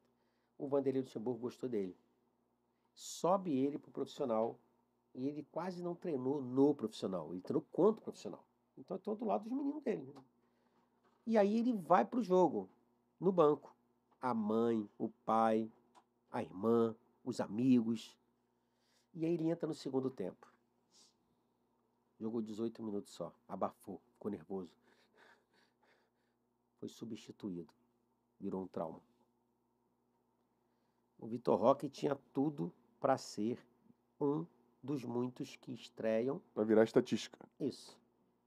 Que estreiam, não deu certo, não teve mais oportunidade. E aí traumatizou o menino. E aí as pessoas que cuidam dele, não foi o clube, as pessoas que cuidam dele me contrataram. Na verdade, eu já atendi um outro atleta desse rapaz. E aí eu começo o trabalho individual com ele, menino de 16 anos, traumatizado. E aí foi um passo a passo. E aí quando chega no final desse ano, o Cruzeiro, o Ronaldo Fenômeno entra no Cruzeiro. Ah, Vitor Roque é o primeiro atleta após o Ronaldo Fenômeno a estrear no profissional com 16 anos no Cruzeiro. Tinha esse detalhe. Já tem um peso. Tem esse peso. E aí ele desce para a base, o, o treinador é trocado, que é o Vanderlei Luxemburgo, o Cruzeiro foi negociado, Série B, e aí ele vai para a Copinha. Aí começamos as metas, começamos a fazer um passo a passo. Nós temos isso até hoje, a gente começou sábado passado agora, que ele está para ir, para atender ele até hoje, que está para ir para Barcelona, estamos fazendo um trabalho muito parecido agora. Só que agora a dimensão muito maior, a cobrança muito maior.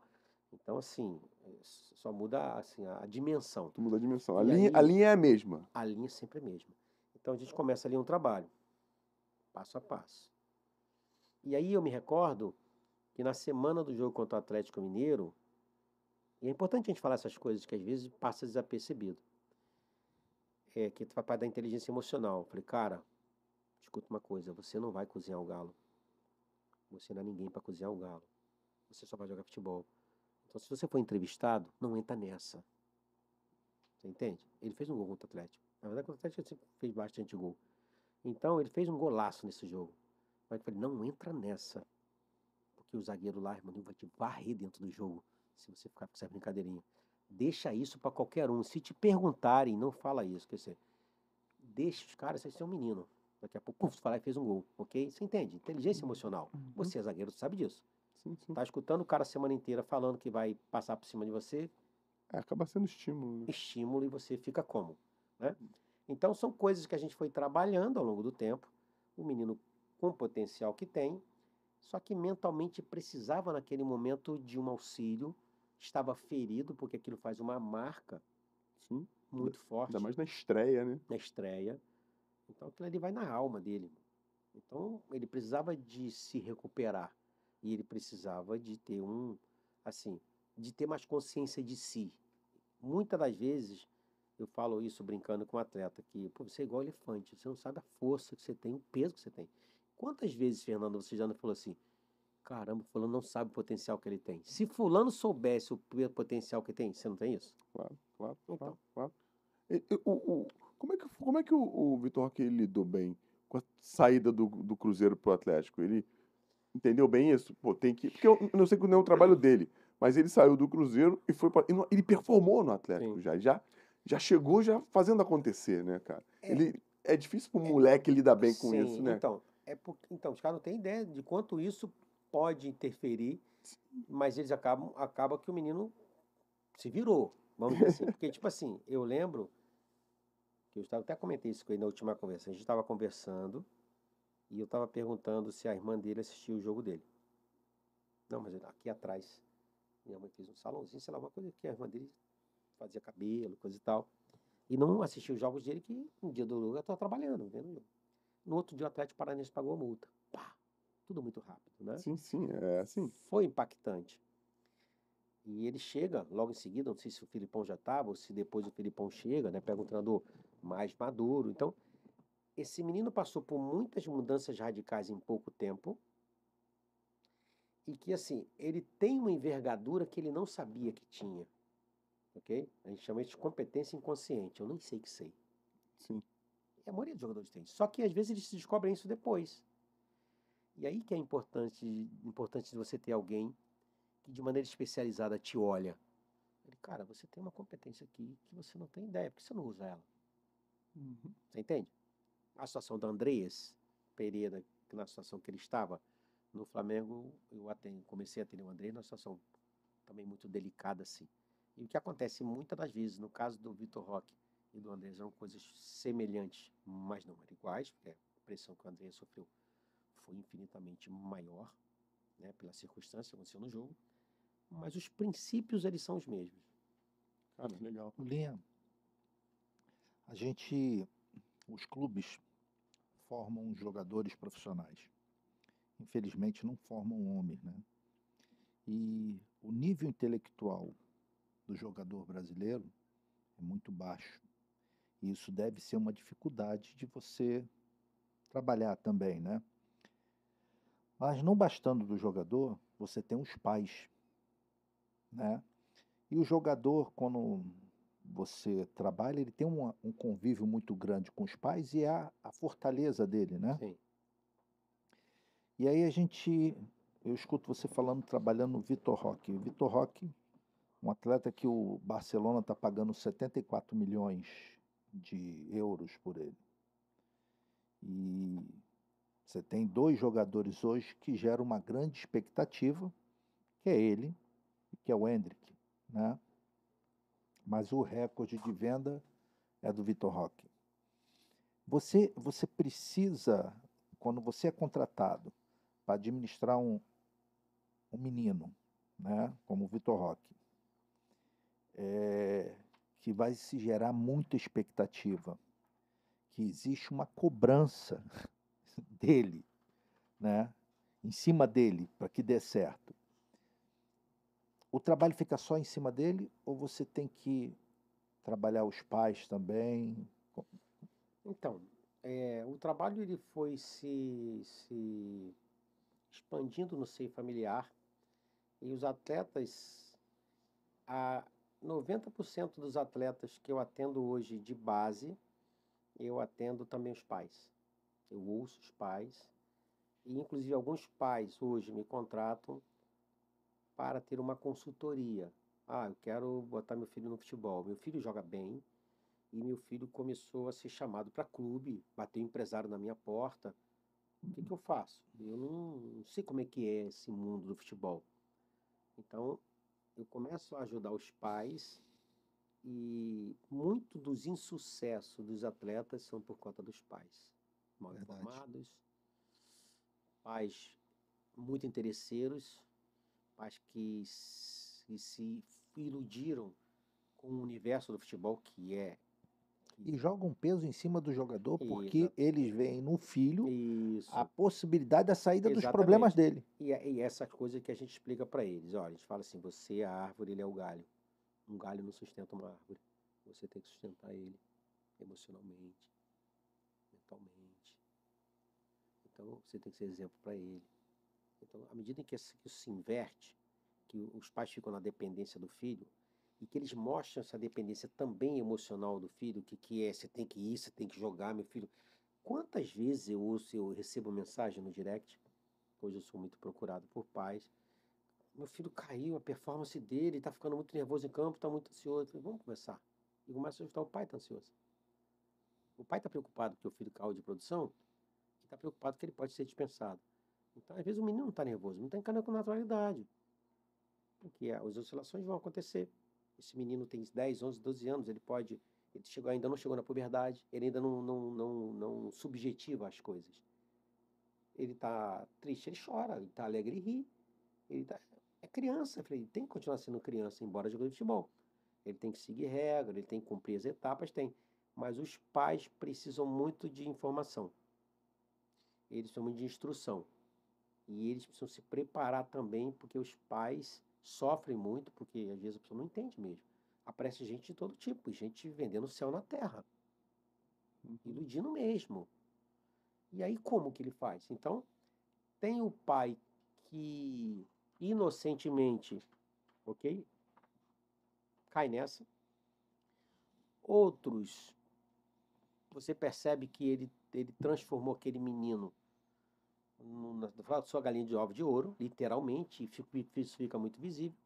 E outros que carregam em si uma frustração por não ter sido algo que ser jogador de futebol e não foi, alguma coisa assim, e ele transfere isso para um menino.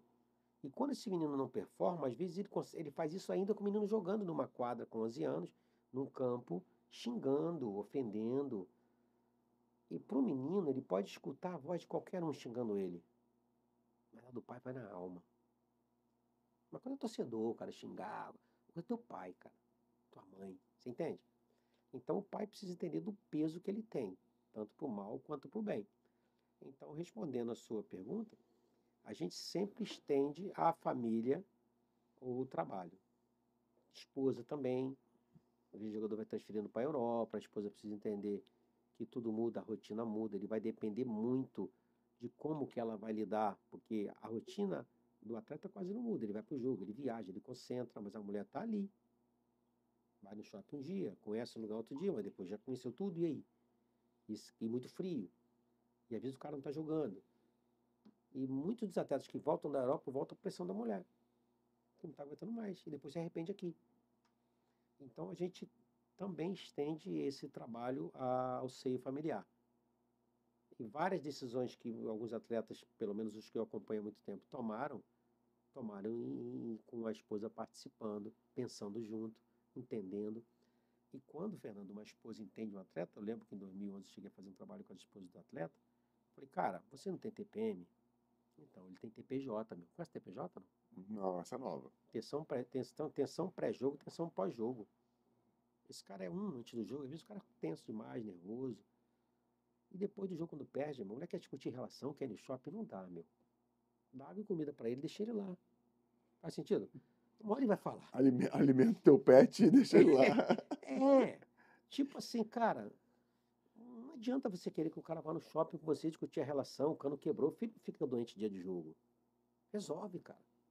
Ah, meu filho tá doente. O cara tá concentrado, cara. Vai acabar com a vida dele se tu falar que o filho dele tá doente. Vai pro hospital, resolve tudo, cara. Depois no final, ele vai te agradecer. Aprende a lidar com ele. Porque esse cara vale uma fortuna. Esse cara é locomotiva. Todo mundo aqui atrás é vagão. Se ele parar, para todo mundo. E muitos caras são rimo de família. É ele, são os pais dele, são os pais dela. É muita gente dependente financeiramente dele. Você deu o exemplo certinho da locomotiva, cheio de vagão atrás. Hum, Só o é, cara puxando. E aí, Fernando, a importância de quem está do lado, porque o pilar familiar é muito importante na vida de um atleta, meu. Então, quando ele está bem assessorado pela família, é que eu digo, na psicologia em si, você não é indicado você trabalhar o marido e a mulher, ok? Mas o nosso trabalho de coach não, um trabalho mental. É uma equipe, meu, tá trabalhando junto. Todo mundo está trabalhando em prol dele. Porque ele tem que jogar, ele tem que dar o resultado de campo. Todos, todos, todos. Pode ser dono do clube, pode ser o cara mais rico do mundo. Todos, comparado ao atleta, são coadjuvantes. Só ele é protagonista. Só ele entra em campo. Só ele tem que chegar lá e enfrentar de fato. Então, cara, esse cara precisa ser encarado como tal. A vida de quem está à volta precisa estar tá voltada para ele de alguma forma. Ter esse entendimento. E para ele, a gente já conversa assim, cara, tu tem uma família, você tem que dar uma atenção pro teu filho, você e ele, tempo com qualidade para ele. Dê uma hora pro teu filho, mas brinca com ele. Faça a atividade dele. Seja o pai dele. Ele às vezes não quer o jogador do lado, ele quer o pai. Então, cara, entenda que você tem uma esposa. Não adianta você ficar chateado ficar uma semana sem falar com a tua mulher, que ela não tem culpa disso. Então a gente também trabalha essa, essa, essa parte com o atleta, quando o atleta dá liberdade, lógico, tá? Tudo que a gente está falando aqui é mediante uma prévia liberdade do atleta de entrar nesse assunto. Porque às vezes a carreira do cara vai embora porque sua vida pessoal foi embora. Porque a mulher não aguentou e foi embora com dois filhos. Putz, e às vezes foi embora porque ele, ele tomou pouco cuidado. Ele não deu real valor. Então, para você ter ideia até onde vai o trabalho, que é não é só a questão do campo, da bola, é da pessoa mesmo, é do ser humano. Maneiro. Cara, só tem mais, mais uma, um questionamento aqui com relação ao Andrés. Tu trabalhava com ele já na época, no, no momento da final da Libertadores? Não, foi depois, muito ou pouco depois?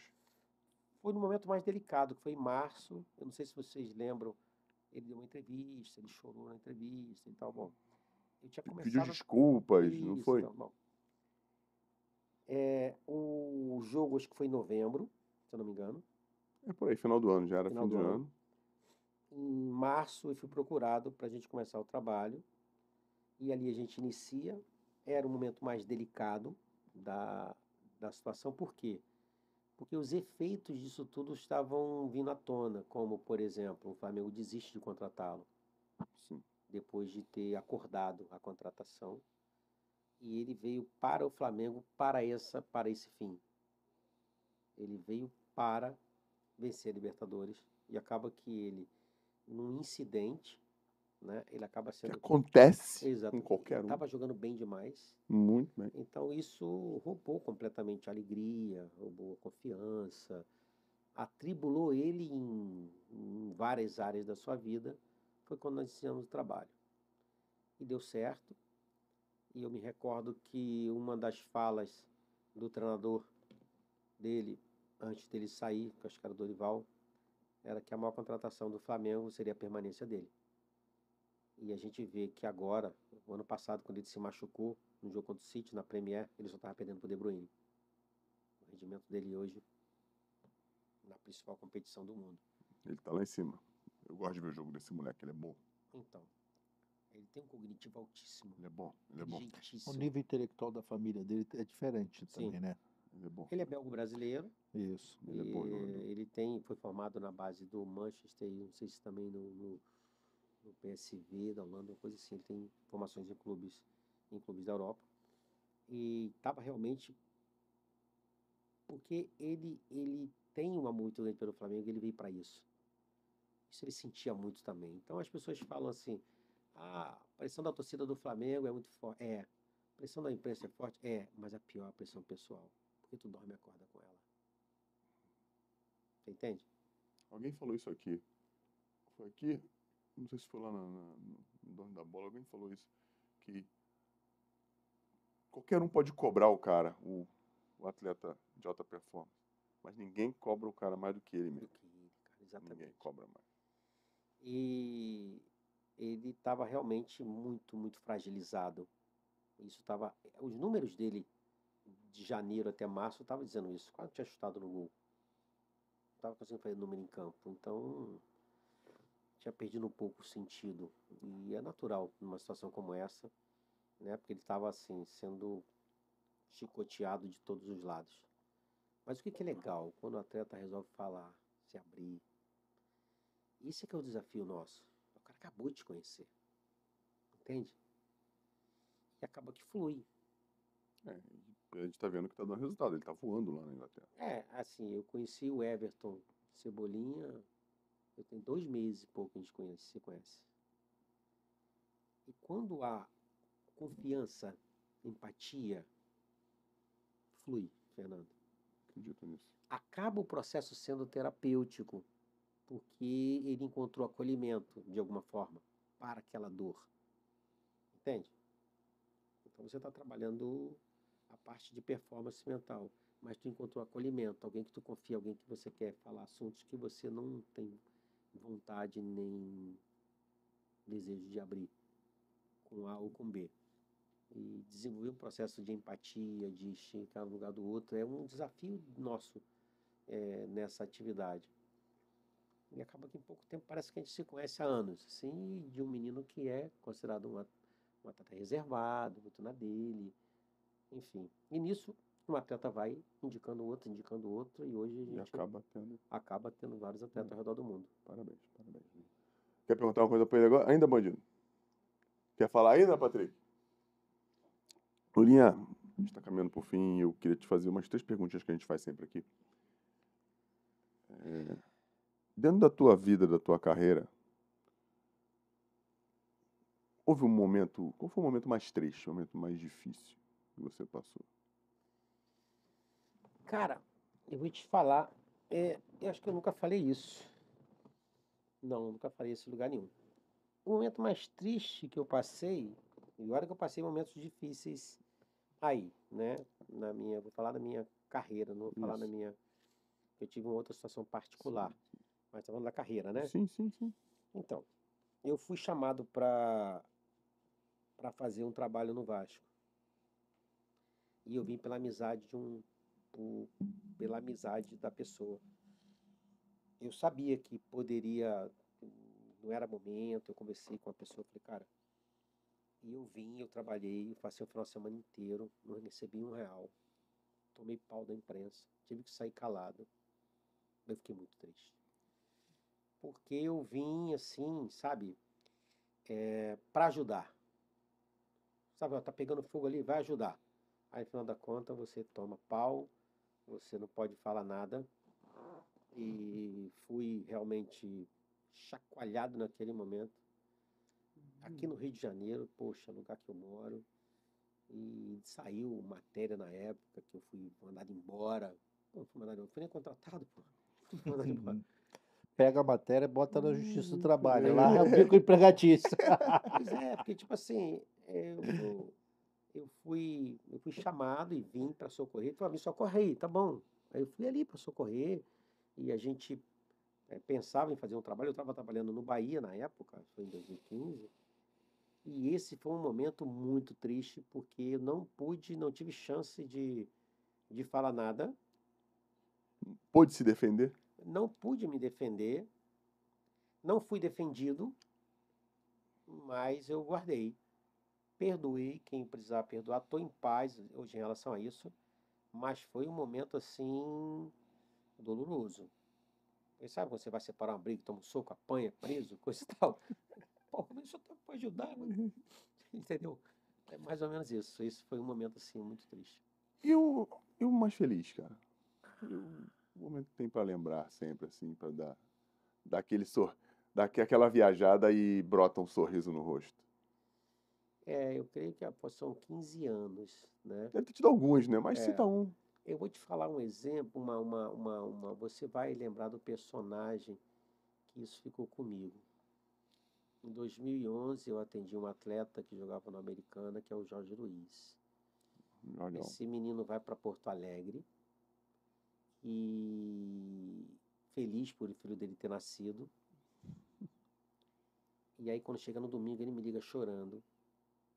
O menino nasceu com síndrome de Down. E ele era muito fechado. Sabe aquele cara que nasceu no dia de São Cadeado? Foi ele. Fechado. é. É uma coisa que aconteceu ali que alguns atletas não sabem. O Léo Silva sabe disso. E aí eu fiquei naquela cara, conversando com ele, ele muito nervoso, ele chegou muito tenso. E eu negociando com ele para ver se ele conseguia falar com o grupo. Ele não queria que eu falasse com ninguém, ele não queria falar com ninguém. E eu lembro de um jogo contra o São Bernardo, sei lá, com o São Bernardo, que ele estava muito mal, estava aéreo, pensei que ele me bater nesse dia. Porque chegou no intervalo, eu falei assim, cara, tu é médico? Pode fazer alguma coisa pelo teu filho? Não. Então, cara, então joga bola, tu não tá jogando nada. Tu tá aéreo, o time vai perder por causa de você. No intervalo, cara. Vestiário, Fernando. Cara, o cara cresceu assim, ficou. Sabe como é que ele é? Vai é grande, pô. bater. Ele é grande. Pensei que ele ia me bater. Aí fui embora. Segundo tempo ele acabou com o jogo. Ah, correu pra caramba. Beleza, quando deu 10 e pouca da noite ele me ligou. Pastor, queria te pedir desculpa. Não. Pô, resolvi falar. Esse foi um dos momentos mais gratos. Porque quando ele falou com o grupo, Resolveu Cara, falar. foi uma coisa assim maravilhosa, porque o grupo abraçou ele. Embora seja uma coisa simples, eu tive questão de acesso de time, acesso do CSA, li- eh, coisas maiores, assim, mas isso foi uma coisa, uma vitória ímpar de um ser humano assim tremendo. E eu tinha na, na- na- no meu computador, no descanso de tela, tinha a foto da, da filha dele e do filho dele, do João Vitor e da Maria. E, eu, ele ficava feliz. Caraca, cara, tu não sabe como me fazia feliz você ter a foto do meu filho no teu computador ali. Então foi uma das, das, das grandes alegrias que eu tenho desses, desses 15 anos de atividade fazendo isso. Que você apertou o botão certo, né? Para Exatamente. disparar o foguete. Parabéns. Exatamente. E o Jorgão era foguete mesmo. É. É, sabe. Lula, existe uma beber frase. minha água, não, não, não. porra. Tava só ajeitando. Se fosse cerveja, até trocava, né? Confundiu o copo, mas não. Se existe um, dentro do que você acredita, é claro, uma frase, ou uma, uma palavra, um mantra, não sei, que você acredite muito, que represente um pouco do quem você é, da sua essência, que você botaria numa camisa. Essa frase eu gosto muito dela, que é de um missionário americano que morreu. eh, ele gostaria de evangelizar os índios, chamado Jim Elliot. Ele disse assim: Não é louco aquele que abre mão do que não pode reter para ganhar o que não pode perder. Por favor, repita. Não é louco aquele que abre mão daquilo que ele não pode reter Sim. para ganhar aquilo que ele não pode perder. Não é louco aquele que abre mão daquilo que não pode reter para ganhar aquilo que ele não pode perder. Muito bom. Tem que parar e pensar. Tem que pensar, não Tem dá. que escrever. Tem que escrever para escrever para ler e para É, é, aí tu consegue entender. entender. Porque é. Rápido não dá, Dá não. não, dá não. Cara, Cognitivo baixo. é isso. Pô, mas pra, ser, mas pra ser alto entender isso aí, quantas vezes ele leu essa porra? Lula, como é que a galera te encontra? Como é que a galera quer. Eu quero contratar o Lulinha, vou aonde? Pô, vou páginas amarelas? A galera nem sabe o que, que é isso. a página amarela foi lá atrás. Puta que pariu. Como é que a galera faz pra te encontrar, pra te contratar, pra saber quem é você, pra ver um pouco do teu trabalho? Fala do livro, por É, o favor. livro, na verdade, assim, hoje eu tenho outros livros para escrever menores, assim, falando especificamente, que fala um pouco assim, na verdade, essa é a primeira literatura que fala sobre o coach esportivo no Brasil. Brasil. Esse é um ponto. Sim. Que fala um pouco, né, sobre a fundamentação científica, aplicação prática. Então, a primeira literatura do Brasil falando nisso é esse. Pronto. E isso aí vem livro, pode contar na Amazon, chama-se. Onde é que tá ali?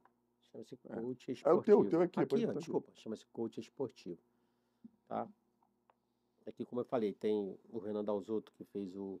que hoje é era técnico do vôlei, que fez o contracapa, tem vários profissionais aqui dando depoimento, tem vários cases eh, de sucesso, tem algumas ferramentas que a gente chegou a aplicar na época. Né? Eu tenho uma página no Instagram que chama-se é, Lourinha Tavares 01. Ali tem informações sobre o que é o trabalho, sobre como é o trabalho, essa metodologia que é o método, esse método que foram 15 anos, É o MR3? MR3, Mente Renovada 3, eu penso, eu sinto, eu faço. É, por conta, e eu preciso falar isso rápido, por conta de algo que aconteceu no meio desse caminho, em 2016, quando eu estava no auge, é, no final de 2015, que eu já estava começando a ministrar cursos, a minha esposa descobre um câncer. Em 2018 ela falece. E foi um período muito doloroso, onde eu ressignifiquei algumas coisas, saí do propósito de estar em clubes, porque eu queria ficar mais em casa, eu queria viver um pouco mais a minha família, e eu recuei um pouco em alguns projetos até dessa atividade, que eu não. Fiquei até na dúvida se eu continuaria, e aí o CSA teve um papel legal, Marcelo Cabo, que me leva para o CSA naquele período da- da- do falecimento da minha esposa, o CSA subiu para a Série A em 2018, não foi questão nem do acesso em si, mas como de acolhimento, de estar ali, e de estar sendo útil ali naquele, eh, naquele momento, né? Aí eu fico mais em casa, ressignifico o trabalho, e aí começaram os trabalhos individuais a potencializar. E a gente foi, criou aí a, a- a- a- a página lá no, no Instagram. E tem lá onde tem nosso trabalho, é Lulinha Tavares 01. Lá tem as informações. Dentro do Instagram tem um contato, que é o do, do, do meu WhatsApp Business, onde a minha secretária, que aumentou muito o volume de procura. Claro, claro. E aí hoje eu tô com uma agenda mas muito cheia mesmo, assim, eu trabalho hoje de 8 da manhã às 10 da noite todos os dias, Fernando. Ó, Glória. Então é Deus mesmo. Agradecer muito a Deus. E aí tem um telefone lá, que é um WhatsApp Business, onde a minha secretária, a Rafaela, trata com as pessoas, a pessoa que é interessada, aí ele mostra, manda ali alguma uma apresentação, né? E, e trata a questão de valores, enfim, é por aí que consegue me encontrar. Maravilha, maravilha. Vai, Patrick, faz teu comercial aí, pô. Arroba conteúdo visual, Patrick Liberato. Vai lá no Instagram para conhecer um pouco do trabalho do Patrick, que é, que é muito legal. E também tem nosso, nosso querido Anselmo Paiva. Você é um pai vida mansa. O que, que é isso? É o meu Instagram. Maior- As melhores, indicações, as melhores indicações de livros do Instagram estão lá, entendeu? Com, com algumas ressalvas, mas 99% é fera. Para contar o Storycast, galera, é Storycast em qualquer rede social. Vai lá, S-T-O-R-I-C-A-S-T, Storycast, que você vai encontrar, sei lá, Reels, papos, conteúdos do nível desse do Lulinha aqui, que a gente ficou muito feliz em poder receber. Eu fiquei feliz na notícia que, que viria aqui. Enfim, a gente não se via muito, muito tempo. Mas o Lulinha veio aqui para desmistificar algumas coisas que a cultura do nosso futebol tem um pouco bem arraigado e a gente sabe que não é de uma hora para outra que sai, é. mas caras como Lulinha, a gente, eu brinco dizendo que quem quebra o muro primeiro sangra. É. Mas quando Sara, ele começa a colher os frutos e o Lulinha está fazendo isso agora.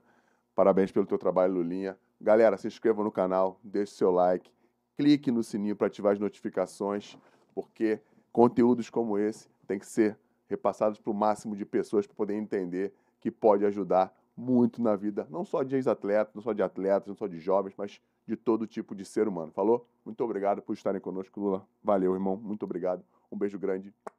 Beijo, pessoal. Fomos!